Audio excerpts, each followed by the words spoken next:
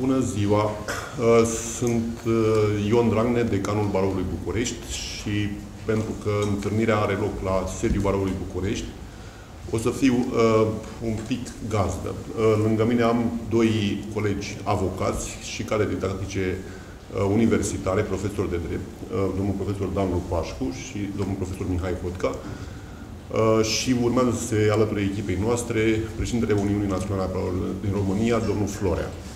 Întâlnirea uh, pe care v-am propus-o și uh, care are loc la inițiativa juridice.ro are ca temei, ca bază, adoptarea legii 25 din 2017, uh, prin care a fost modificată, vom vedea, substanțial sau mai puțin substanțial, legea 51 din 1995. După cum știți, președintele României a promulgat legea venită după mai mult timp de la Curtea Constituțională, astfel încât, începând din 28 uh, uh, martie, uh, legea este în formă nouă, probabil că vom avea o republicare după ce se, va, se vor reașeza articolele. Și ne-am gândit că ar fi util și pentru colegii avocați și pentru colegii neavocați, dar juriști, dar și pentru Uh, nejuriști, pentru publicul larg, să vedem ce aduce nou uh, legea uh, nouă, să vedem dacă în ea sunt acele pericole care au fost clamate pe parcursul adoptării proiectului de lege și să vedem dacă prin noua lege drepturile și libertățile fundamentale ale cetățeanului, de care în mod obiectiv este legat avocatul, sunt mai bine protejate. Uh, după cum spunea un uh, uh, coleg jurist, judecător și membru al Asociației Magistraților din România, când existau discuții despre superimunitatea avocaților, cea mai clară formă de adevăr spus a fost aceea că am citit proiectul de lege și n-am găsit nicăieri textul de superimunitate. Am citit proiectul de lege și n-am văzut nicăieri care ar fi acele privilegii ale avocaților. După cum ați observat, uh, inclusiv după promulgarea de către președinte a, a legii, articolele din presă au fost în sensul uh, a fost promulgată legea care prevede, cu ghilimelele de rigoare, superimunitățile avocaților, ceea ce uh, a permis unui hâtru să își pună întrebarea. Păi dacă puneți ghilimele, înseamnă că mai sunt sau nu mai sunt? Uh, mi-am permis să încep cu acest punct de vedere, fiindcă, uh, din nefericire, uh, un proiect de lege care era cu totul și cu totul menit să modernizeze o lege a unei profesii juridice, a fost deturnat într-o zonă a dezbaterilor politice și aceasta a și întârziat proiectul de lege și plus a și afectat, din punctul meu de vedere, imaginea uh, profesiei de avocat. Uh, evident că în profesia de avocat are și părțile bune și părțile rele, însă în niciun caz uh, cei care au inițiat proiectul de lege și care au sprijinit trecerea lui prin filtrul democratic al Parlamentului, nu și-au propus ca avocații să dobândească privilegii, imunități sau garanții suplimentare. Vă uh, amintesc, vă spun, un dialog pe care l-am avut cu un uh, reporter de la un ziar care scrisese despre cât de mare este imunitatea avocaților și care m-a sunat uh, a doua zi. I-am spus că ar fi fost minunat să ne uh, întrebe înainte de publicarea articolului și am spus secretul profesional este prevăzut în lege încă din 1995 Ceea ce își propune noua lege este să arate în concret în ce constă secretul profesional. Cu alte cuvinte, uh, nu e o noutate nimic din ceea ce dezbatem noi aici. Uh, iar jurnalistul a publicat a doua zi un articol în care spune uh, Ion Dragne, decanul Barului București, întrebat despre secretul profesional, a spus că acesta ar trebui să existe chiar și în procesele penale, cu semnul exclamării. Deci, cam în genul ăsta a fost uh, dialogul sau lipsa de, de dialog în legătură cu uh, complicatul și anevoiosul proces de legiferare. Au fost implicați, după cum uh, poate că ați aflat în calitate de participanți la atmosfera efervescentă de legiferare, au fost implicați oameni și, care au și sprijinit proiectul de lege, avocați și neavocați de calitate. Din păcate am avut și numeroși colegi, confrați, avocați sau foști avocați, care s-au exprimat incorrect la adresa profesiei de avocat și la adresa uh, inițiativei care avea ca obiectiv să modernizeze în părțile, să zicem, importante, o lege care devenise puțin uh, anacronică, adaptată fiind în 1995. Uh, este din această perspectivă foarte utilă cercetarea unui articol uh, de pe juridice al domnului Hodcă, în care vorbește despre uh, câteva lor de poziție, uh, începând cu exclamarea așa ceva nu s-a mai întâlnit a unei persoane, ceva nemai întâlnit și apoi s-a văzut că de fapt se întâlnise și aceasta a dus la retractarea afirmației și continuând cu scopul pe care l-a avut legea, de a proteja uh, nu știu ce persoane cercetate cu, cu legea penală. Niciunul dintre aceste puncte nu sunt conforme cu ceea ce s-a urmărit în adoptarea uh, proiectului de, de lege, motiv pentru care o să vă invit să facem o scurtă trecere în revistă a uh, principalelor modificări pe care le identificăm și de ce anume s-a impus acest lucru. O să mă sprijine în mod consistenți, încă altfel o să fie un fiasco. Pe partea de penal, colegii mei, uh, domnul Hotcă și domnul Lupașcu, fiindcă îmi declar necompetența în ceea ce privește uh, dreptul penal. În uh, esență, dacă îmi permiteți, câteva puncte să fac o trecere în revistă și apoi vom dezvolta pe baza unui dialog absolut liber, cei de, de aici, dar și din sală, orice uh, parte care vi se pare că mai necesită uh, lămuriri sau informații suplimentare. La articolul 3, legea 51 din 95 a fost modificată în sensul că a fost inclusă o nouă formă de activitate avocațială, a fost, cu alte cuvinte, îmbunătățit conținutul uh, activităților avocațiale cu curatela specială, conform legii și statutului profesiei de avocat. De ce a fost necesară uh, inserarea acestor activități? Pentru că, după cum cunoașteți, uh, Codul de procedură civilă și nu numai a uh, dezvoltat instituția care exista deja în vechiul Cod de procedură civilă despre curator și a recunoscut o legitimare procesuală specială curatorului în persoana avocatului care face parte din baroul care funcționează pe lângă instanța în care se impune luarea măsurii de ocrotire. De asemenea, dacă veți observa la reprezentarea legală a persoanei fizice în procesul civil, pe la articolul 83, 85, 86, din nou cod de procedură civilă, instanța de judecată, ori de câte ori apreciază că este necesar, va desemna, va putea să desemneze un reprezentant în condițiile lui 58, respectiv uh, un curator special. Și s-au pus întrebări. Este în această situație când uh, e desemnat uh, ca și curator special avocatul avocat propriu-zis, este uh, curator uh, Uh, din perspectiva legii uh, civile substanțiale uh, își are obligația să depună împuternicire la dosarul cauzei, are drepturile și obligațiile avocatului, activitatea pe care el o înfăptuiește este o activitate în cursul profesiei de avocat sau este un curator din perspectiva codului civil. Legea nouă a venit și a spus lucrurile trebuie, sunt clare, avocatul desfășoară activități de curatelă specială în condițiile legii avocaturii. Cu alte cuvinte, este avocat. Și, sigur, asta permite ca să tragem și alte concluzii cu privire la calificarea veniturilor obținute de avocat, dacă ele fac obiectul uh, înțelegerilor pe care, uh, la nivel național, Ministerul uh, Justiției este obligat să le, să le uh, implementeze împreună cu Uniunea Națională a Valorilor din România, și așa mai departe. Dacă, uh, domnule da. profesor, domnule avocat, domnule avocat, vreți să... O scurtă intervenție pe această chestiune a curatelei speciale. În primul rând, știm că în practică există tendința, din păcate, destul de larg răspândită. Procesul penal se judecă după codul de procedură penală, procesul civil după codul de procedură civilă. S-a pus problema aceasta. Dispozițiile privitoare la curatera specială se aplică și în procesul penal.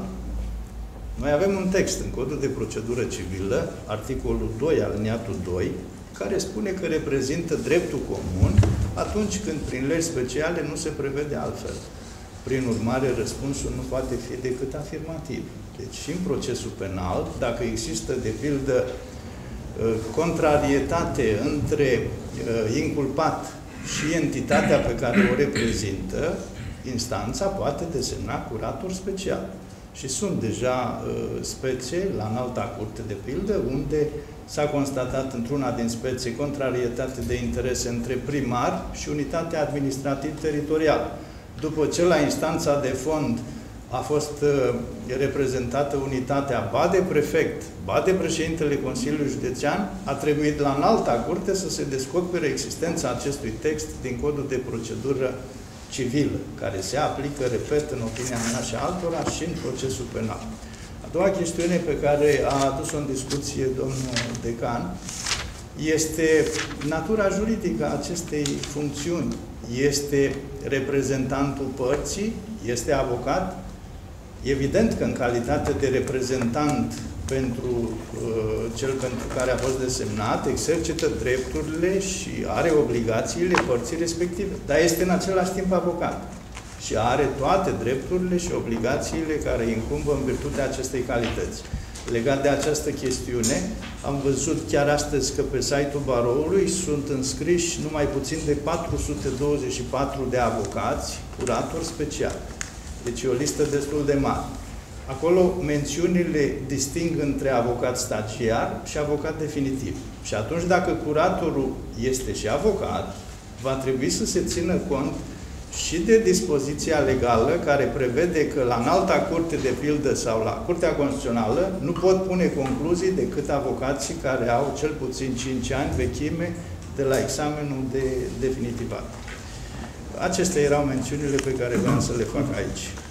Uh, profit de ocazie să reiau microfonul și să uh, vă informez că au fost introduse formalități cumva mai uh, complicate, superioare, de asigurarea opozabilității actelor efectuate de către avocat. În, din perspectiva aceasta avem un alineat 3 în noua forma legii care spune că avocatul este obligat să ține evidența actelor întomite conform alineatului 1 litere C și D cu excluderea celor pentru asistare și reprezentare și să le păstreze în arhiva sa profesională în ordinea întocmirii. Până aici lucrurile erau cam tot uh, în uh, cum era vechea forma legii, avem acum uh, o instituție nouă, Registrul Național. Și spune textul că în cel mult trei zile de la data întocmirii actelor de la alineatul 1, avocatul este obligat să înregistreze operațiunea în registrul electronic al actelor întomite de avocați conform alineatul 1 litere C și D, conform procedurii din regulamentul de organizare și funcționare a registrului aprobat de Consiliul UNPR sub sancțiunea inopozabilității față de terți. Ei, observați, vă rog, care este consecința. Noi avem deja, un, la acest moment, aveam, conform legii vechi, uh, un uh, registru de, dare, de dată certă la înscrisurile pe care uh, le prezentau părțile, clienții noștri sau alte părți, în care atestam faptul că o persoană identificată, a prezentat un înscris și dădeam dată certă. El, uh, practic, uh, dobândea efectele unui uh, act opozabil tuturor. Acum, S-a menținut acest registru, însă pentru a fi opozabil în sensul complet al cuvântului, este necesar ca el să fie, respectivul înscris, înscris și într-un registru național, sau care se organizează la nivel național, uh, și care marchează opozabilitatea. Și din această perspectivă uh, trebuie să tragem concluzia că simpla înscriere a unui uh, contract sau act juridic în registru deținut de avocat fără parcurgerea procedurii de înscriere în acest registru electronic, nu mai are ca efect opozabilitatea înscrisului, ci din potrivă inopozabilitatea. Tot ca element de noutate, în, ca, vorbim despre, despre registru, o să vedeți că la nivel național a fost consacrat prin lege registrul patrimoniului de afectațiune, cel pe care îl poate constitui avocatul cu consecința unei specializări a răspunderii cu respectivele bunuri pentru activitatea profesională.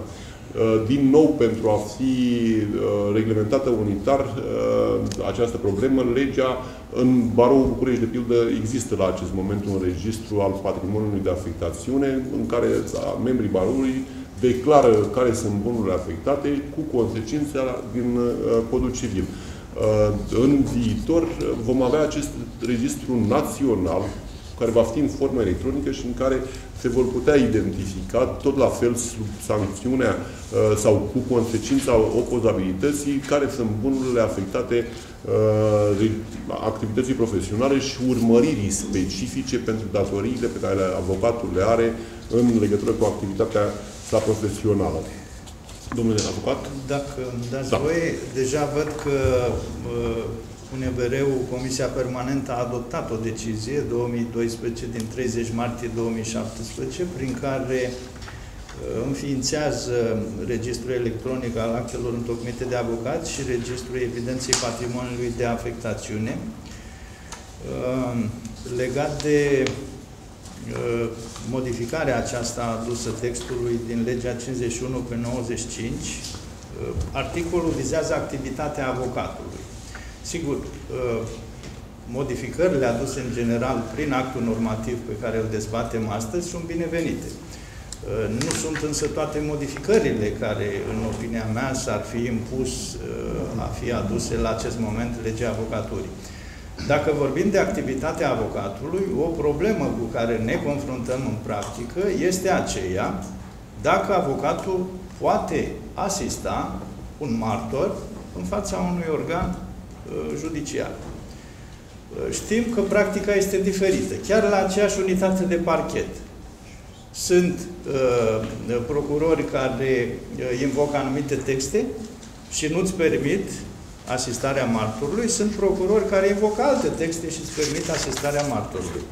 Uh, potrivit art 2 alineat 3 și art 3 alineat 1 din legea 51 pe 95, precum și art 31 și 34 din codul de procedură penală, răspunsul ar fi trebuit să fie afirmativ, pentru că în legea avocaturii se vorbește de persoane fizice, fără să se menționeze fără să se limiteze în vreun fel. În codul de procedură penală, în cele două texte, se vorbește de subiecti procesual și martorul este subiect procesual. Avem însă un alt articol, 88 aliniat 1 Cod Procedură Penală, care de data aceasta spune subiect procesual principal. Și martorul nu mai este subiect procesual principal.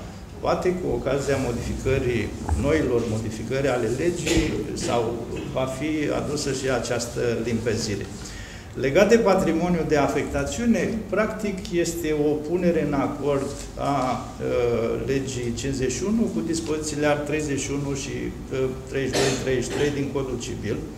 Ce trebuie să se rețină în mod deosebit este că această constituire a patrimoniului de afectațiune este un drept și nu o obligație, cel puțin aceasta este formularea din lege.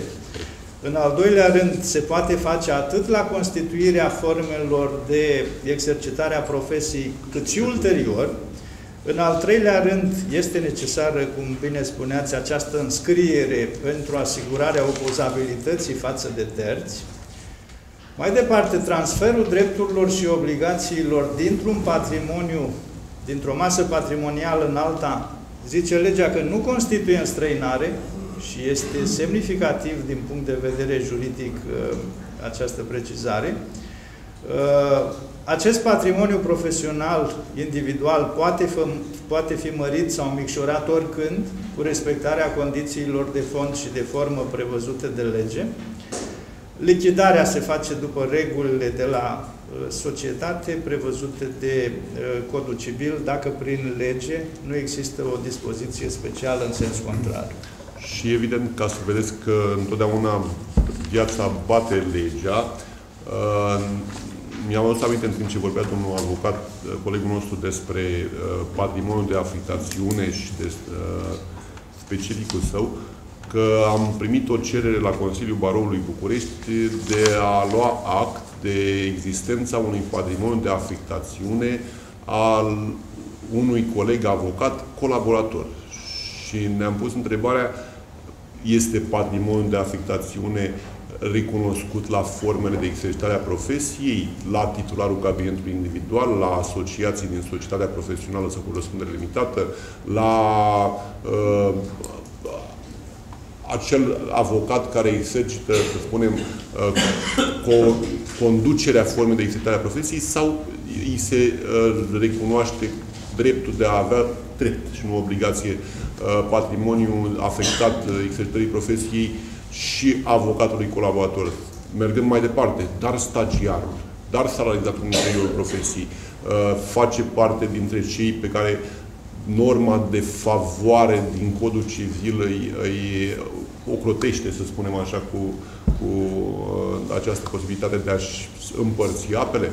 Și răspunsul a fost că de vreme ce nu excludem ca uh, să existe o răspundere a oricărui avocat, indiferent că este asociat, colaborator, titular, stagiar uh, sau orice altă formă, înseamnă că trebuie să-i recunoaștem dreptul de patrimoniu de afectațiune. Deci, cu alte cuvinte, uh, dacă este să ne uităm la cine justifică un interes pentru a-și constitui patrimoniul de afectațiune, el nu e doar la nivelul formului de exercitare a profesiei, care sigur că și ele sunt multe, ci trebuie să mergem mai departe, în interiorul formului de exercitare a profesiei și să uh, știe avocatul titular, dar și colaboratorul, că pot să-și să-și constituie acest patrimoniu de afectațiune. Legea nu distinge. Da, legea nu distinge, însă în statutul profesiei de avocat, uh, dacă ați observat, așa a fost gândită inițial, uh, formele de exercitare a profesiei de avocat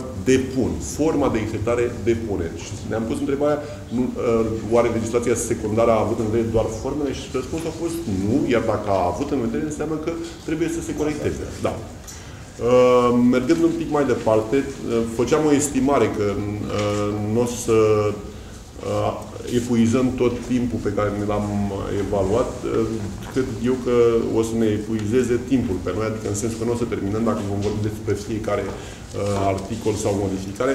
Deci promit să vorbim mai puțin, pentru că sunt teme importante în legătură cu secretul profesional, cu publicitatea profesională și uh, n-am ajuns încă la ele.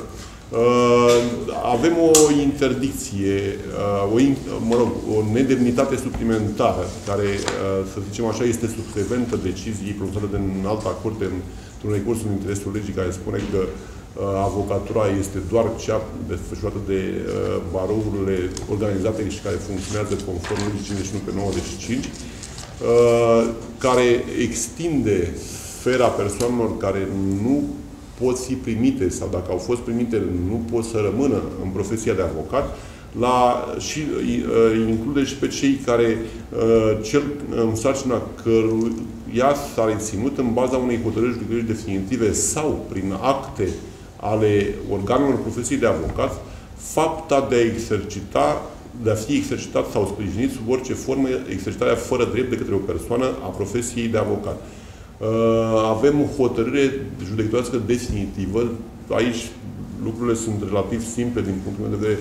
Nu este necesar să fie o hotărâre penală. Poate să fie și o hotărâre civilă. Și de asemenea avem acte ale organelor profesiei de avocat. Și mă gândesc ce acte am putea să avem.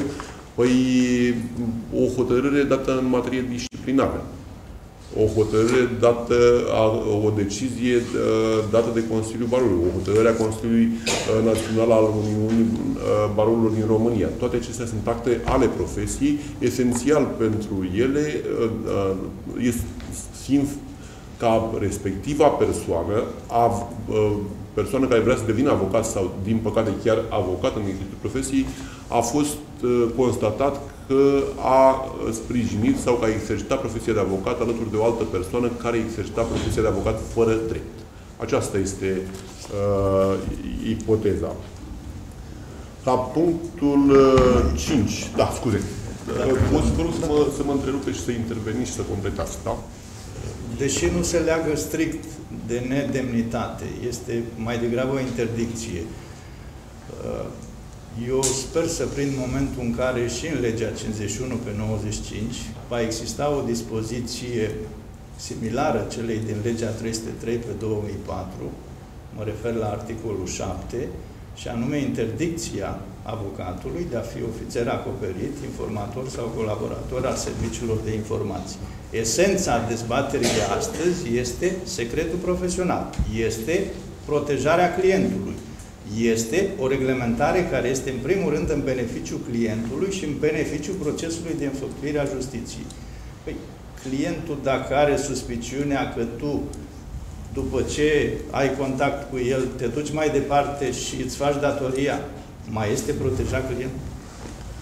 Da, din uh, Odiseea adoptării acestei legi vreau să vă spun că a fost de mare uh, ecou uh, cât de multe privilegii își rezervă avocații prin legea aceasta, dar aceiași oameni n-au scris un cuvânt despre condițiile misterioase în care proiectul de lege care a plecat de la Senat cu, cu interdicția pentru orice avocat de a fi a, agent, colaborator acoperit sau orice altă formă, a ajuns la Camera Deputaților fără această interdicție și nimeni uh, n-a întrebat uh, cine a avut inițiativa să o taie și uh, să o excludă din proiectul de lege și nimeni n-a fost consternat.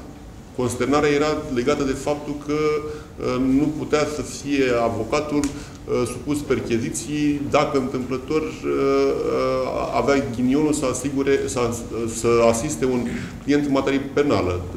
Toată lumea mergea pe ideea că, sau comentariile erau pe ideea dacă este cercetat clientul, trebuie să suporte și avocatul, că vorba aceea de asta este și avocat. Dar nimeni n-a vorbit despre uh, acoperiții care ar fi trebuit în mod normal să devină descoperiți, așa încât nu știm mai departe.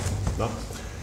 Uh, la articolul 16, exercitarea profesiei de avocat este compatibilă numai cu. Uh, a fost un text pentru care Curtea Europeană a Drepturilor Omului a socotit Uh, că statul român trebuie să fie sancționat. Uh, am avut uh, de rezolvat problema de a ști dacă o persoană care era medic și care lucra ca liber profesionist poate să fie și avocat. Și am rezolvat-o în sensul că am apreciat că cele două profesii sunt incompatibile, fiindcă, între altele, jurământul profesional este diferit și uh, Uh, nu,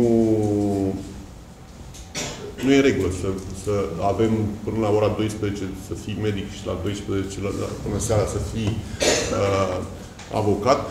Uh, Curtea Europeană ne-a sancționat, statul, uh, mă rog, statul român a fost sancționat zicând că este imprecisă, că este de o manieră generală, motiv pentru care a fost corelat în sensul că s-a prevăzut foarte riguros regimul uh, incompatibilităților. Uh, e binevenită modificarea, fiindcă uh, am fost uh, întrebați de, în afară de faptul că în mod frecvent ne întreabă executori, colegi juriști,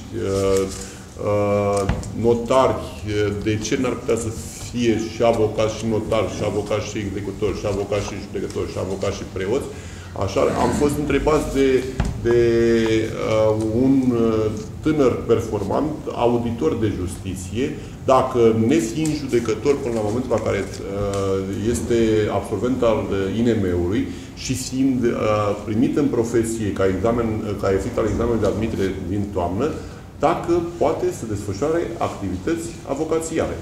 Pentru că nu este nici magistrat și uh, ca atare n-ar fi niciun fel de problemă. Evident că am dat un răspuns uh, negativ că uh, drepturile și uh, obligațiile avocatului presupun o profesie liberală, care liberal uh, înseamnă altceva decât statul.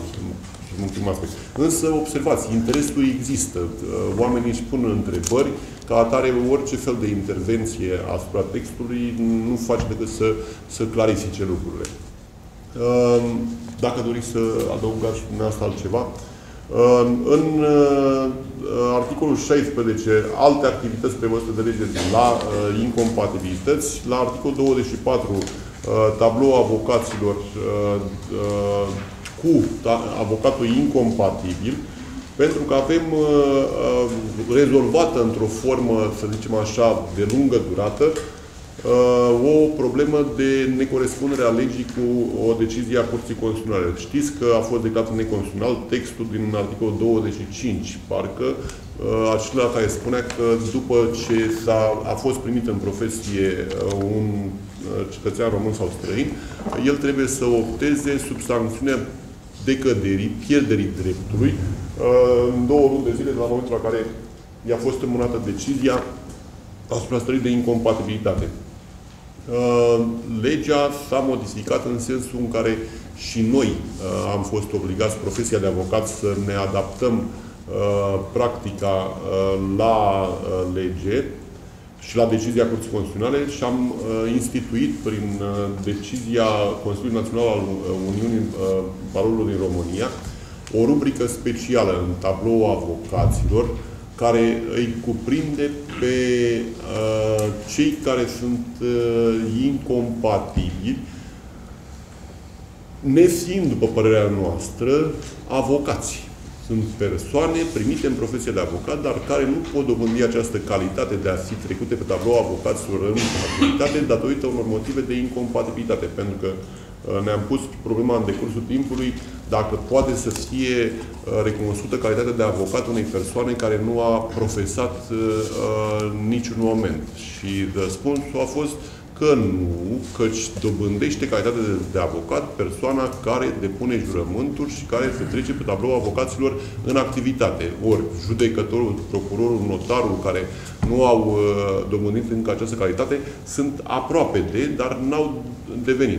Sigur că raționamentul nostru a fost înfrânt în mod rușinos de uh, instanțele de judecată, care la cererea unor colegi juriști judecători uh, au constatat și că uh, aceștia au dobândit calitatea de avocat și ne-au și obligat să le trecem, să-i trecem pe tabloul uh, avocaților incompatibili. Din acest motiv, uh, recunoscând uh, că viața din nou uh, este uh, dinamică, Uh, legea a fost modificată în sensul că persoanele care uh, dobândesc, uh, sunt promovate la examen de admitere în profesie, definitiv sau stagiar, dobândesc calitatea de avocat. Cam așa ar fi, că tabloul avocaților nu poate să cuprindă neavocați, incompatibili și vor dobândi dreptul de a profesa efectiv în momentul în care încitează starea de incompatibilitate. Avocat sub condiție suspensivă. Un fel de avocat sub condiție suspensivă um, nu existau foarte multe discuții înainte de 2010, pentru că au existat uh, era consacrată o teorie a drepturilor câștigate, ele au redevenit actuale după ce uh, s-a pus problema aplicării articolului 25. Acum articolul 25 a fost modificat, motiv pentru care putem să încurajăm uh, oamenii să vină, să susțină un examen fără să fie obligați să decidă atunci, în termen de două luni sau imediat, uh, care să le fie traseul profesional. Uh, articolul 26 este modificat uh, în sensul că se prevede o obligație mai, mai serioasă, mai fermă, mai activă a instanțelor de judecată să verifice și să se pronunțe asupra calității de reprezentant a unei persoane care se pretindă ca avocat, exercitând acte specifice și folosind în semnele profesiei de avocat. Uh, era reglementată această obligație și problema calității de reprezentant, dovezii calității de reprezentant, evident că e o problemă uh, pe care nici măcar nu e nevoie să o prevedem noi în legea avocaturii. Ea este de bază pentru formarea raportului procesual, atât în materie civilă cât și în materie penală. Judecătorul invocă excepția lipsei calității de reprezentant chiar și din oficiu. Avem, sigur, textul din 82 din actualul cod, care spune că nu poate fi invocată pentru prima dată în apel lipsa calității, dovedii calității de reprezentant. Însă aici, uh, rațiunea pentru care a fost obligată instanța de judecată să verifice uh, calitatea de reprezentant este nu ca să uh, stabilească dacă reclamantul, părâtul, inculpatul, partea vătămată, partea civilă sunt bine reprezentate, ci dacă cel care exercită activitățile cu și poartă în semnele profesiei de avocat este avocat. Și, evident, nu avem decât să sperăm că instanțele de judecată vor aplica deciziile date de înalta Curte de Casație și Justiție și își vor uh, corela practica judiciară în raport de ceea ce știm că se întâmplă în prezent. Adică numai avocații care uh, sunt recunoscuți de lege. O scurtă intervenție. Vă rog, vă rog, uh, Este un text foarte important și, din păcate, după părerea mea, reglementarea a rămas puțin în urmă. Este criticabil. Dacă ne uităm pe primul aliniat, textul sună în felul următor. Instanțele sunt obligate să verifice și să se pronunțe. Dar avocatul se duce numai la instanță. Procurorul de ce nu ar avea această obligație? Polițistul de ce nu ar avea această obligație? Reprezentantul instituției alta decât cea judiciară, de ce nu ar avea această obligație? Deci nu s-a observat și a rămas numai instanțele sunt obligate să verifice și să se pronunțe. În al doilea rând, în aliniatul 2 se vorbește de exercitarea fără drept a oricărei activități specifice constituie infracțiune. Dacă ne luăm după, doar după acest aliniat, este sancționată penal doar exercitarea fără drept. Textul, de fapt, face trimitere la 348 din Codul Penal, care are două modalități, două variante de săvârșire, două înfățișări ale elementului material, exercitarea fără drept sau exercitarea în alte condiții decât cele legale. În opinia mea, cele două texte nu pot fi separate, deci trebuie interpretate coroborat și definiția infracțiunii de exercitare fără drept o găsim negreșit în articolul 3, 348 din Codul Penal. Ce mai constatăm la acest articol? Dispare aplicația principiului error communis facitius. Înainte, dacă venea cineva dintr-un alt barou, așa zis barou, punea concluzii, era vorba, am întâlnit spețe concrete. A pus concluzii la instanța de fond, a apărat o persoană arestată pentru o infracțiune destul de gravă, a îndrăznit să vină și la instanța de apel. Instanța de fond n-a observat că nu avea calitatea de avocat și s-a pus această problemă. Bun, n-a fost primit la instanța de apel, dar se menține arestul preventiv. Și exista text, 26 alinea 3, care spunea că toată lumea a fost de bună credință, menție arestul preventiv. Nu se mai poate. Deci trebuie să fie foarte atent judecătorul, pentru că nu mai există această posibilitate. Mai departe, nulitatea actului pe care îl făcea o asemenea persoană putea fi constatată doar dacă eram în prezența unei vătămări. Prin urmare, era o nulitate relativă, trebuia dovedită vătămarea respectivă. Textul s-a modificat. Spune scurt, sunt nule. Prin urmare, nu mai este nevoie de dovedirea unei vătămări, cred eu, aceasta fiind uh, prezumată prin modul în care a fost uh, formulat uh, textul de lege. O altă modificare a textului este eliminarea aliniatului care prevedea dreptul la acțiune în despăgubire al baroului. Și aceasta ridică întrebarea, mai poate pretinde baroul despăgubiri? Personal, cred că se poate constitui barou parte civilă în procesul penal. Sigur, acele despăgubiri potrivit legii vechi aveau o afectațiune specială, erau destinate formării profesionale. Nu știu dacă trebuia încorsetat atât de mult uh, barou să folosească banii respectivi doar pentru formare, formare profesională. Acestea sunt, uh, în opinia mea, principalele modificări aduse acestui articol 26. Domnul consilier și avocat Mihnea Stoica. Mulțumesc. Vorbiți mai tare, vă rog, ca să... Uh, mulțumesc, știu că legislarea. Vreau să vă cer opinia, fără trimitere la 348 din Codul Penal, în condițiile în care noul text face trimitere în tocmai la exercitarea de activități specifice profesiei în cadrul unor entități care nu fac parte din formele de organizare profesională recunoscute. Și atunci eu cred că ăsta limitează incidența al 348 numai la cei care nu exercită profesia în cadrul baronului, astfel încât avocatul suspendat care exercită profesia în alte condiții decât cele legale, în ciuda interdicției din cursul suspendării, nu săvârșește infracțiunea. Nu, eu cred că acest text, de fapt, noi avem două, două variante la această modificare. Pe de o parte avem cel care exercită acte de avocatură fără să facă parte din nicio entitate și este normal să răspundă penal potrivit lui 348 și în al doilea rând îl avem pe cel care chipurile își construiește o, un paravan, intră într-o astfel de identitate și exercită acte de avocatură.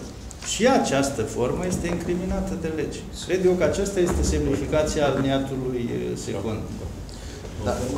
Da. legii, o soluție definitivă în care Curtea de Apel constată că avocatul suspendat care exercită acte specifice profesii nu săvârșește o infracțiune, o achitare definitivă. Okay. Asta. Acum vă întreb, strict raportat la modificarea aliniatului 3 în forma pe care ați citat-o, credeți că mai e valabilă treaba asta sau răspunde și avocatul suspendat care exercită în alte condiții decât cele legale? Eu cred că răspunde și avocatul respectiv. Da, Acesta da, este dacă îmi permiteți și mie. Magistrați. Este vorba de aliniatul 2, potrivit căruia exercitarea fără drept a oricărei activități specifice profesiei de avocat constituie o infracțiune și se pedepsește potrivit legii penale. Trimiterea este clară la 348 cod penal. Ce înseamnă sintagma fără drept? Evident că aici probabil s-a oprit Curtea de Apel în speța pe care dumneavoastră ați citat-o. Curtea de Apel a făcut o interpretare restrictivă a conținutului normei de incriminare. Și atunci, sigur că soluția a fost aceea. Dar, din forma actuală, art 26, cu toate că ar putea fi discutată previzibilitatea normei din perspectiva clarității, cred că orice activitate a unui, să spunem, avocat suspendat, intră sub incidența legii penale. Deci, practic, discutăm atât de exercitarea unor activități specifice profesiei de avocat de către persoane care nu au această calitate, de către persoane care au calitatea de avocat, dar nu pot exercita profesia și a treia ipoteză, de către persoane care uh, exercită activități specifice profesiei de avocat sub umbrela unor societăți. Știm că existau astfel de entități uh, la un moment dat și probabil uh, nu cunosc exact, mai sunt și în prezent astfel de, de societăți sau persoane juridice care uh, permit activități specifice profesiei de avocat prin actele lor constitutive. Eu cred că AR26 trebuie avut în vedere uh, atât cu luarea în considerare a aliniatului 2, cât și 3. Și, evident, uh, prin raportare la prevederea 348 din Codul Penal. Dacă vă limiteți, ați extins-o pe aliniatul 2, corect? E foarte corect observația. Însă, trimiterea, mă rog, înainte exista trimiterea norma statutară. Norma statutară care califica fapta avocatului suspendat de exercita profesia ca și abatere gravă. E, acum statutul, în momentul ăsta, este neschimbat. Ce efect produce statutul, norma rămasă în vigoare în formă pe care am descris-o, în raport de aliniatul 2? Da, cred că nu încape îndoială, statutul profesiei de avocat va trebui uh, adus, sigur că da, adus la zi și pus în acord cu toate modificările și completările aduse de legea 25 pe 2017. Dar mai e un principiu. Răspunderea disciplinară nu exclude răspunderea penală. Evident. E text. Sigur, aici se pune, se, se da, pune în discuție nu, raportul dintre cele două categorii de... de legea penală sau de legea specială? Sigur. Răspunderea, răspunderea penală și cea disciplinară uh, nu se exclud reciproc. Pot coexista. Așa că nu avem o problemă. Uh, singurele forme de răspundere care se exclud reciproc sunt răspunderea penală și contravențională, dar nu e cazul aici. Perfect. Uh, cu permisiunea dumneavoastră, îi urez bun venit domnului avocat Gheorghe Florea, președintele Uniunii Naționale a Barului din România. Uh, și uh, mergem așa cum v-am propus și n-ați opus rezistență, să luăm punct cu punct fiecare dintre modificările pe care le-a adus legea 25 cu posibilitatea oricăruia dintre vorbitori și a dumneavoastră, celor care uh, sunteți prezenți, să schimbăm păreri și să avem chiar și punctele diferite în legătură cu uh, finalitatea legii.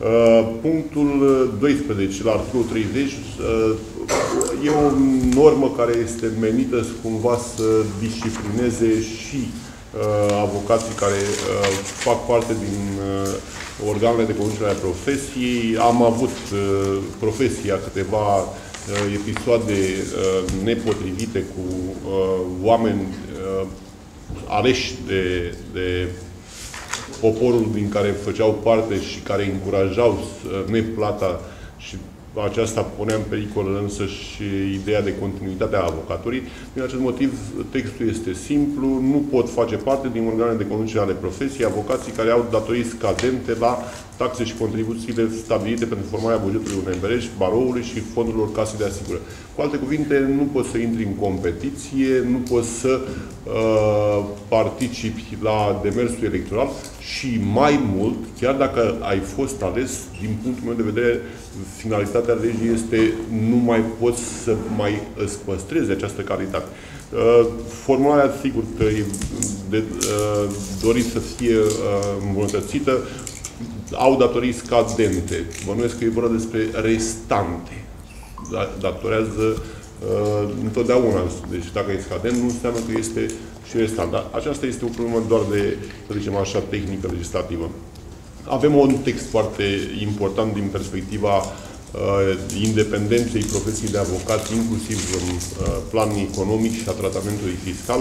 La articolul 31 se introduc două alineate noi, 1 uh, indice 1 și 1 indice 2, Uh, activitatea desfășurată de avocat în condițiile legii și ale statului profesiei de avocat, indiferent de forma și modalitatea de exercitare a profesiei care generează venituri independente profesionale, nu poate fi reconsiderată ca activitate dependentă conform prevederilor codului fiscal. Avocații al indice 2 pot conveni cu clienții onorarii superioare celor stabilite în tablou onorarilor minimale adoptate de Consiliul UNBR. Uh, la primul uh, alineat observați, vă rog, că este un fel de uh, articol atot cuprinzător, deci cu alte cuvinte, nici avocatul stagiar, după părerea mea, nu mai are, a, uh, se teme de o calificare uh, a activității ca fiind independentă, fiindcă spune indiferent de forma de exercitare a profesiei și indiferent de uh, modalitatea în care se exercită aceasta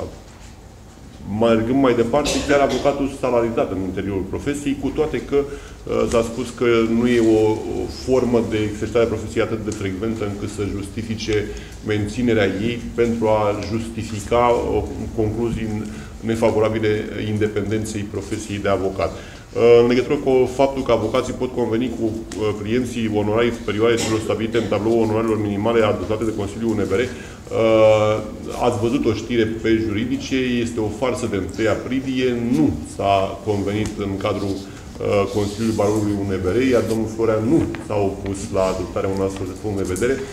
Un tablou al avocaților minim, recomandate minimale, fiindcă este o problemă de competență a Consiliului UNBR. Vom discuta și veți fi informați tot prin juridice, dar nu pe 1 aprilie despre acest aspect. Dacă doriți să adăugați ceva, domnule avocat, domnilor colegi. Știu, legat de primul aliniat, da. cu reconsiderarea ca activitate da. dependentă, da. știu că au fost demersuri ale Uniunii Naționale a Barorilor și dispoziția legală este binevenită. Acum este foarte posibil ca organele fiscale să aibă anumite obiecțiuni, pentru că în codul fiscal formularea este destul de categorică. În articolul 7 aliniatul 2 spune orice activitate poate fi reconsiderată activitate dependentă dacă îndeplinește cel puțin unul dintre următoarele criterii. Interesant este că la activitate dependentă trebuie să îndeplinești un criteriu, pe când la activitate independentă trebuie să îndeplinești cel puțin patru criterii. Dar asta este o altă discuție. Sigur, fiind vorba de o dispoziție ulterioară, fiind un conflict în timp, este o lege specială, ar trebui să se interpreteze în sensul în care s-a statuat prin modificarea adusă legii avocaturii. Da. Dacă îmi permiteți, uh, subscriu la uh, cele susținute de domnul avocat Dan Lupașcu. Uh, este atât o lege specială, cât și o lege ulterioară. Ori lex specialia, derogat lex generalia, lex posteriori, derogat lex anteriori. Dar aș mai face o subliniere foarte importantă. Această precizare legală, binevenită, practic nu este atât în interesul avocatului. Știut fiind că de multe ori, poate pentru un stagiar sau pentru un avocat salarizat, n-ar fi fost o chestiune de viață și de moarte. Este vorba, până la urmă, de principiul universalității și indivizibilității independenței avocatului. În momentul în care se creează o breșă cu privire la independența lui, fie ea și financiară sau de altă natură, atunci putem spune că acest principiu este știrbit și el trebuie lăsat intact pentru că este finalmente o garanție a accesului la justiție și a dreptului la un proces echitabil. Cred Problema că, e mai da. complicată. Și nu cred că poate fi rezolvată altfel decât cu observarea strictă a condițiilor pe care le impune textul de lege. Este vorba despre activitatea desfășurată de avocat în condițiile legii și ale statutului profesiei de avocat. Legea și statutul profesiei de avocat creează un model de activitate profesională care nu se suprapune totdeauna cu modelul real aplicat în viață, în viața noastră profesională. Evident că în momentul în care s-ar constata că în speță nu se respectă într totul statutul profesiei de avocat. Într-o speță în care se realizează un control fiscal. Și în condițiile în care, în realitate, nici măcar legea ta nu o respecti, nu poți să spui că ești sub protecția legii. Și sunt atâtea contracte de conlucrare profesională, intitulate contracte de colaborare, ca modalitate de exercitare a profesiei în care o să găsiți clauze care n-au nimic comun cu statutul profesiei de avocat. Ci sunt dintre cele care se convin de părți, profitându-se de o situație particulară a celui care trebuie să realizeze o activitate profesională pentru a justifica existența profesională, pentru a trăi cu alte cuvinte, față de unul mai puternic, care impune și clauze, care urmează să fie cenzurate prin prisma dispozițiilor legii și ale statutului profesiei de avocat. Asta e un prim aspect. Un al doilea aspect este că, în realitate, pentru ca acest text să fie cu adevărat aplicabil, în sensul pe care adineaurea domnul profesor Hotca l-a evidențiat, și cu reticența cuvenită pe care domnul judecător Lupașcu, proaspăt avocat, o impune acum în discuțiile cu noi, și anume atenție că totuși e o problemă, trebuie să fim destul de reticenți și să verificăm și să constatăm că sunt modificări ale legii care în ansamblul lor trebuie privite sistemic. Și am să vă dau un singur exemplu. În prezent, statutul profesiei de avocat face vorbire despre patrimoniul profesional dedicat profesiei, afectat profesiei. Reglementarea este făcută în așa fel încât se prevede expres că la momentul la care se constituie forma de exercitare a profesiei, avocatul trebuie să își declare patrimoniul profesional afectat. Este textul acesta un test care se aplică și avocatului colaborator? Este textul acesta și un text care se aplică avocatului salarizat? Nu. Reglementarea a fost atât de incorrect făcută de Consiliul Uniunii, încât în realitate avocatul salarizat în interiorul profesiei sau avocatul colaborator care are un laptop pe care și-l dedică drept patrimoniu profesional, afectat activității sale profesionale, care are altă logistică, pe care specificul activității sale o impune. Face ca în realitate și ei, tot avocați, tot egal în dreptul toți ceilalți avocați, să beneficieze de aceeași protecție legală. Și atunci condițiile pe care le distinge codul fiscal diferit, după cum ești dependent sau independent, trebuie verificate și în raport de aceste situații, care, în perspectivă, trebuie să luptăm în Consiliul Uniunii să le impunem. Când, când amenajăm prevederile statutului, cu realități care să intereseze cu adevărat pe toți avocații, care momentan pot fi salarizați în interiorul profesiei, mâine pot deveni colaboratori, poi mâine pot să fie ei înșiși fondatori de formă de activitate profesională, fiind greu de conceput că și închiră și vor realiza un cabinet individual după ce au fost avocați salarizați sau au fost colaboratori și și-au exercitat dreptul de dezvoltare profesională, un drept sacrosant prevăzut în legislația noastră, că nu și-au acumulat niciun fel de logistică proprie pentru activitate profesională viitoare, care în realitate fie sub formă de cărți juridice, fie sub formă de laptop, ceea ce v-am spus, sau fie sub formă de altă logistică, n-ar trebui să fie adecvat.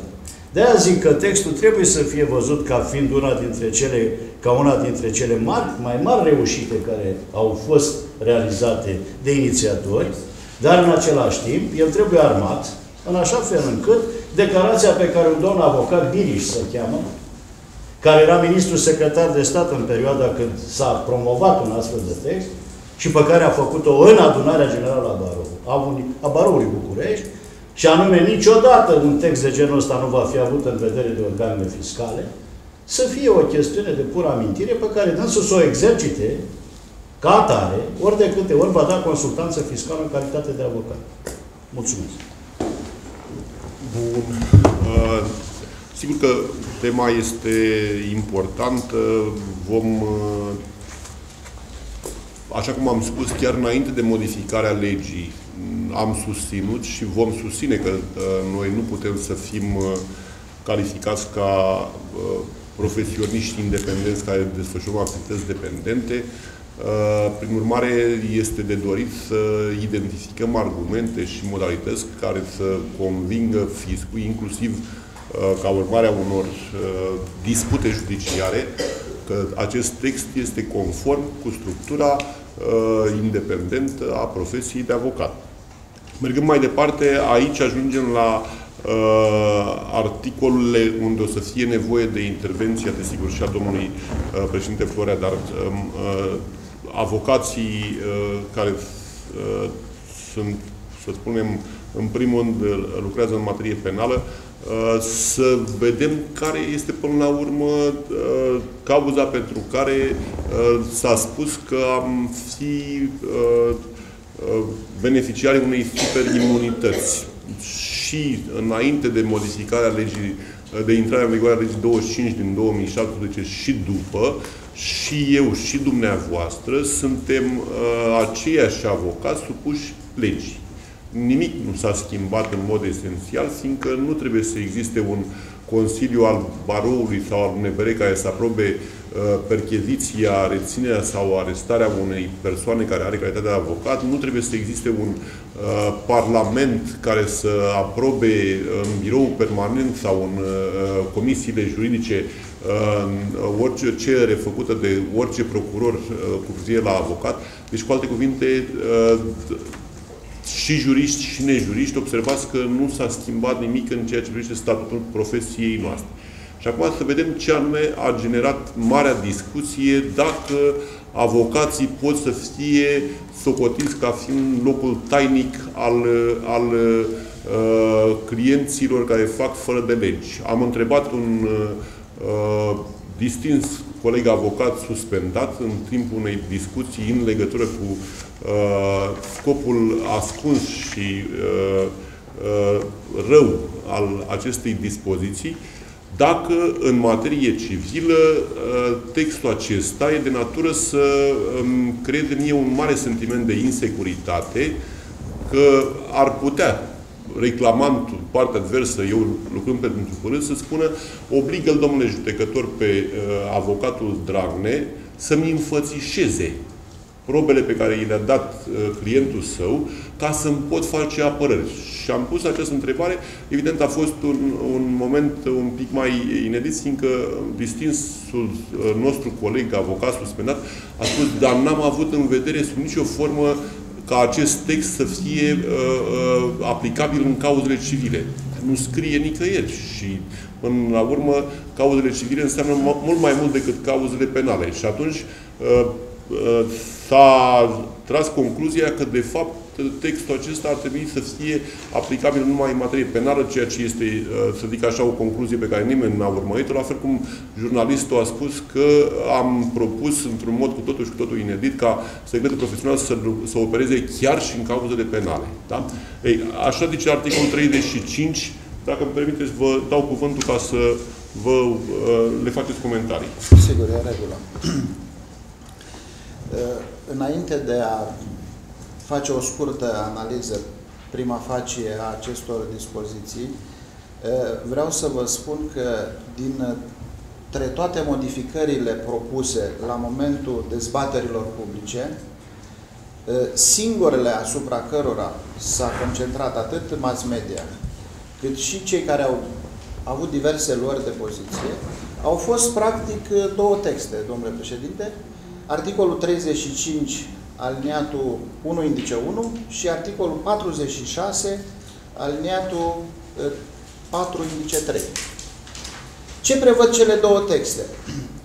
Primul, spune că, mă refer la articolul 35 aliniatul 1 indice 1, că sunt uh, exceptate de la măsura ridicării de înscrisuri sau a confiscării două categorii de înscrisuri. Înscrisurile ce conțin uh, consemnări sau comunicări uh, dintre client și avocat. Asta este esența. La litera B, înscrisuri care conțin comunicări dintre avocat și client, iar la litera A, Uh, situația cealaltă uh, avută în vedere. Deci, practic, despre ce discutăm? Înscrisuri care relevă relația intimă pe care o are avocatul cu clientul său. Uh, strategie de apărare, consemnarea unor declarații, solicitarea unor mijloace de probă, proiecte de concluzii și așa mai departe. Despre astfel de înscrisuri este vorba. Nu poate fi vorba despre alte înscrisuri. Iar în articolul 46, alineatul 4, uh, indice 3, practic uh, despre ce este vorba, potrivit uh, textului legal, nu constituie infracțiune nedenunțarea de către avocat dacă a luat cunoștință în exercitarea activității a unei infracțiuni. Cu trei excepții.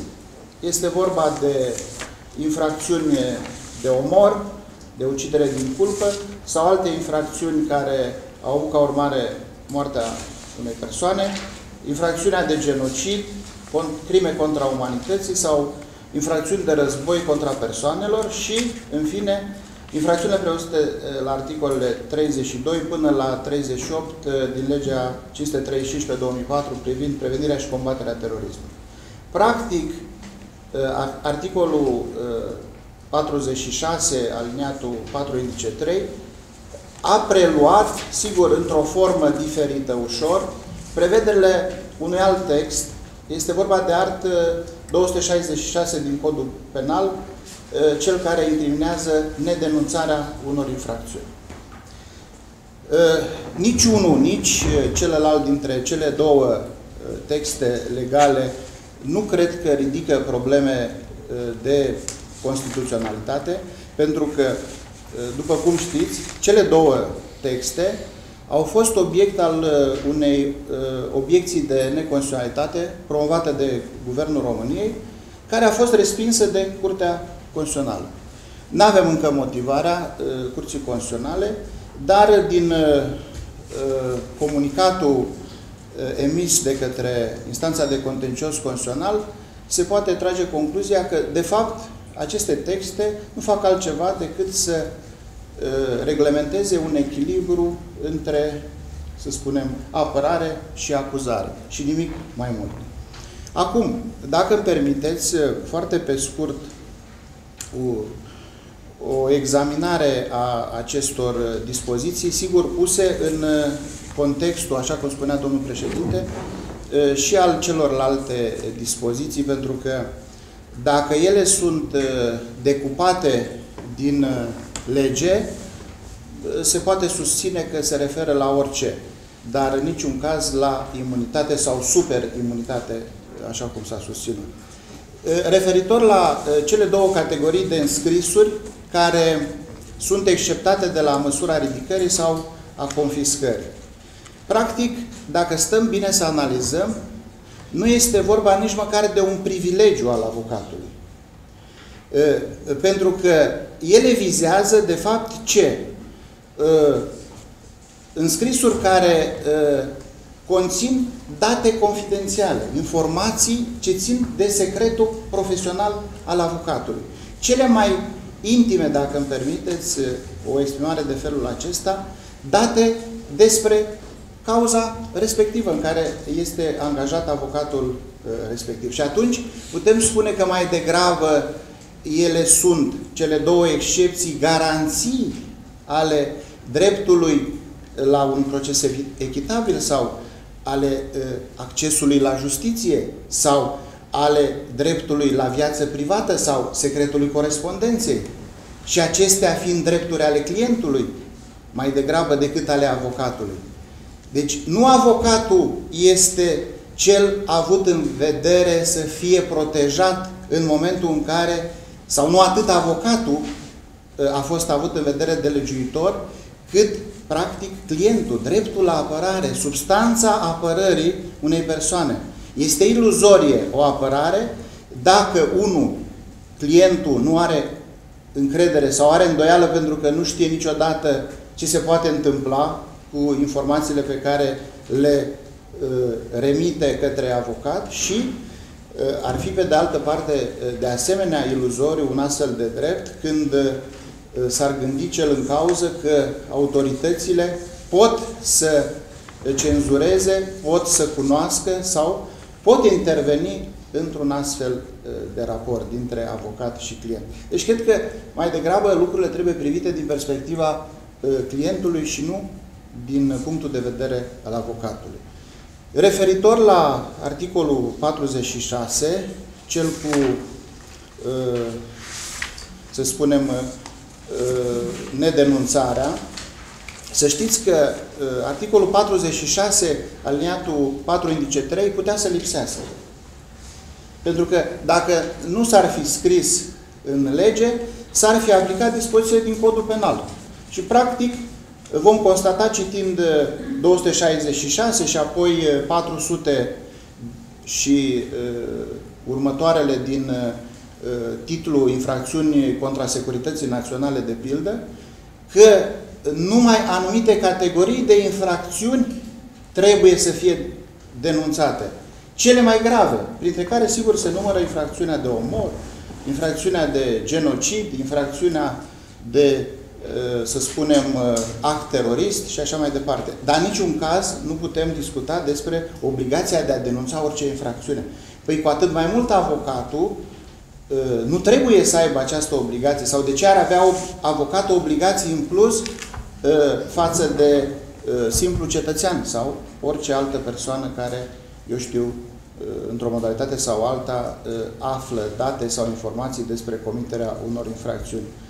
Uh, așadar, cred că nu este vorba nici pe departe de o superimunitate. Și cred că motivarea deciziei Curții Constituționale prin care a fost respinsă obiecția de neconstituționalitate invocată de guvern va oferi mai multe argumente și ar fi interesant să o parcurgem pentru că cred că va face și trimitere la jurisprudența CEDO și la propria uh, practică a instanței de contencios constituțional. Mulțumesc.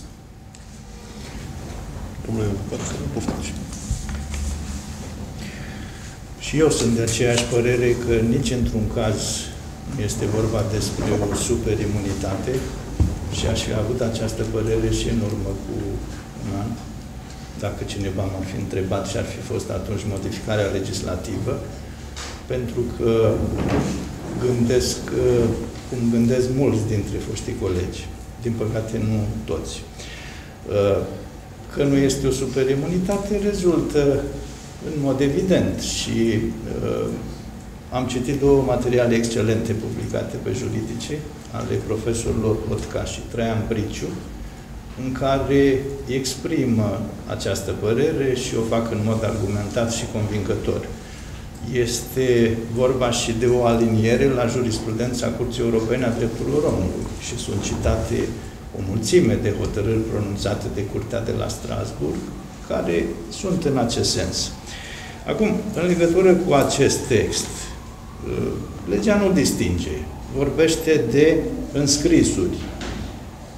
Dacă legea nu distinge, cred că trebuie să luăm cel mai larg sens al acestui termen și avem o definire în articolul 265, dacă nu mă înșel, din Codul de Procedură Civilă.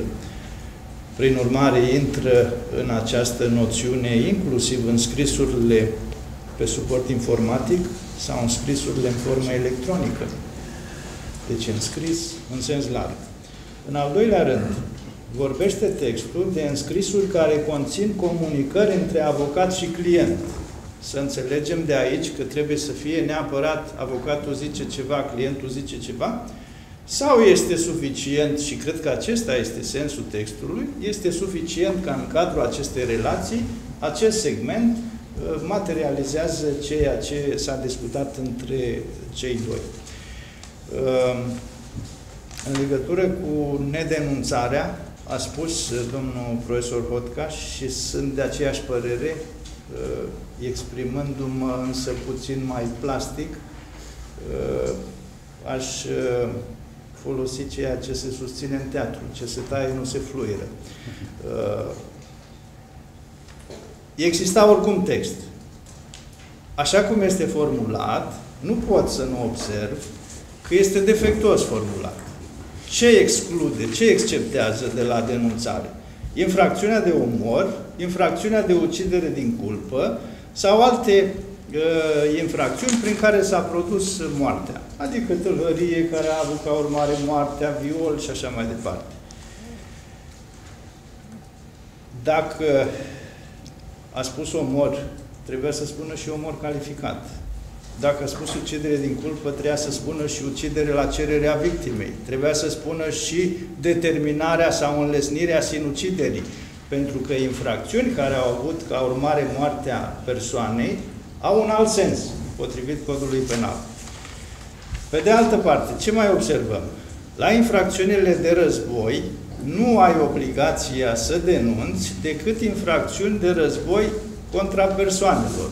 Dar sunt mai multe infracțiuni acolo. De exemplu, 444, cod penal. Utilizare de o travă, gaze asfixiante și așa mai departe.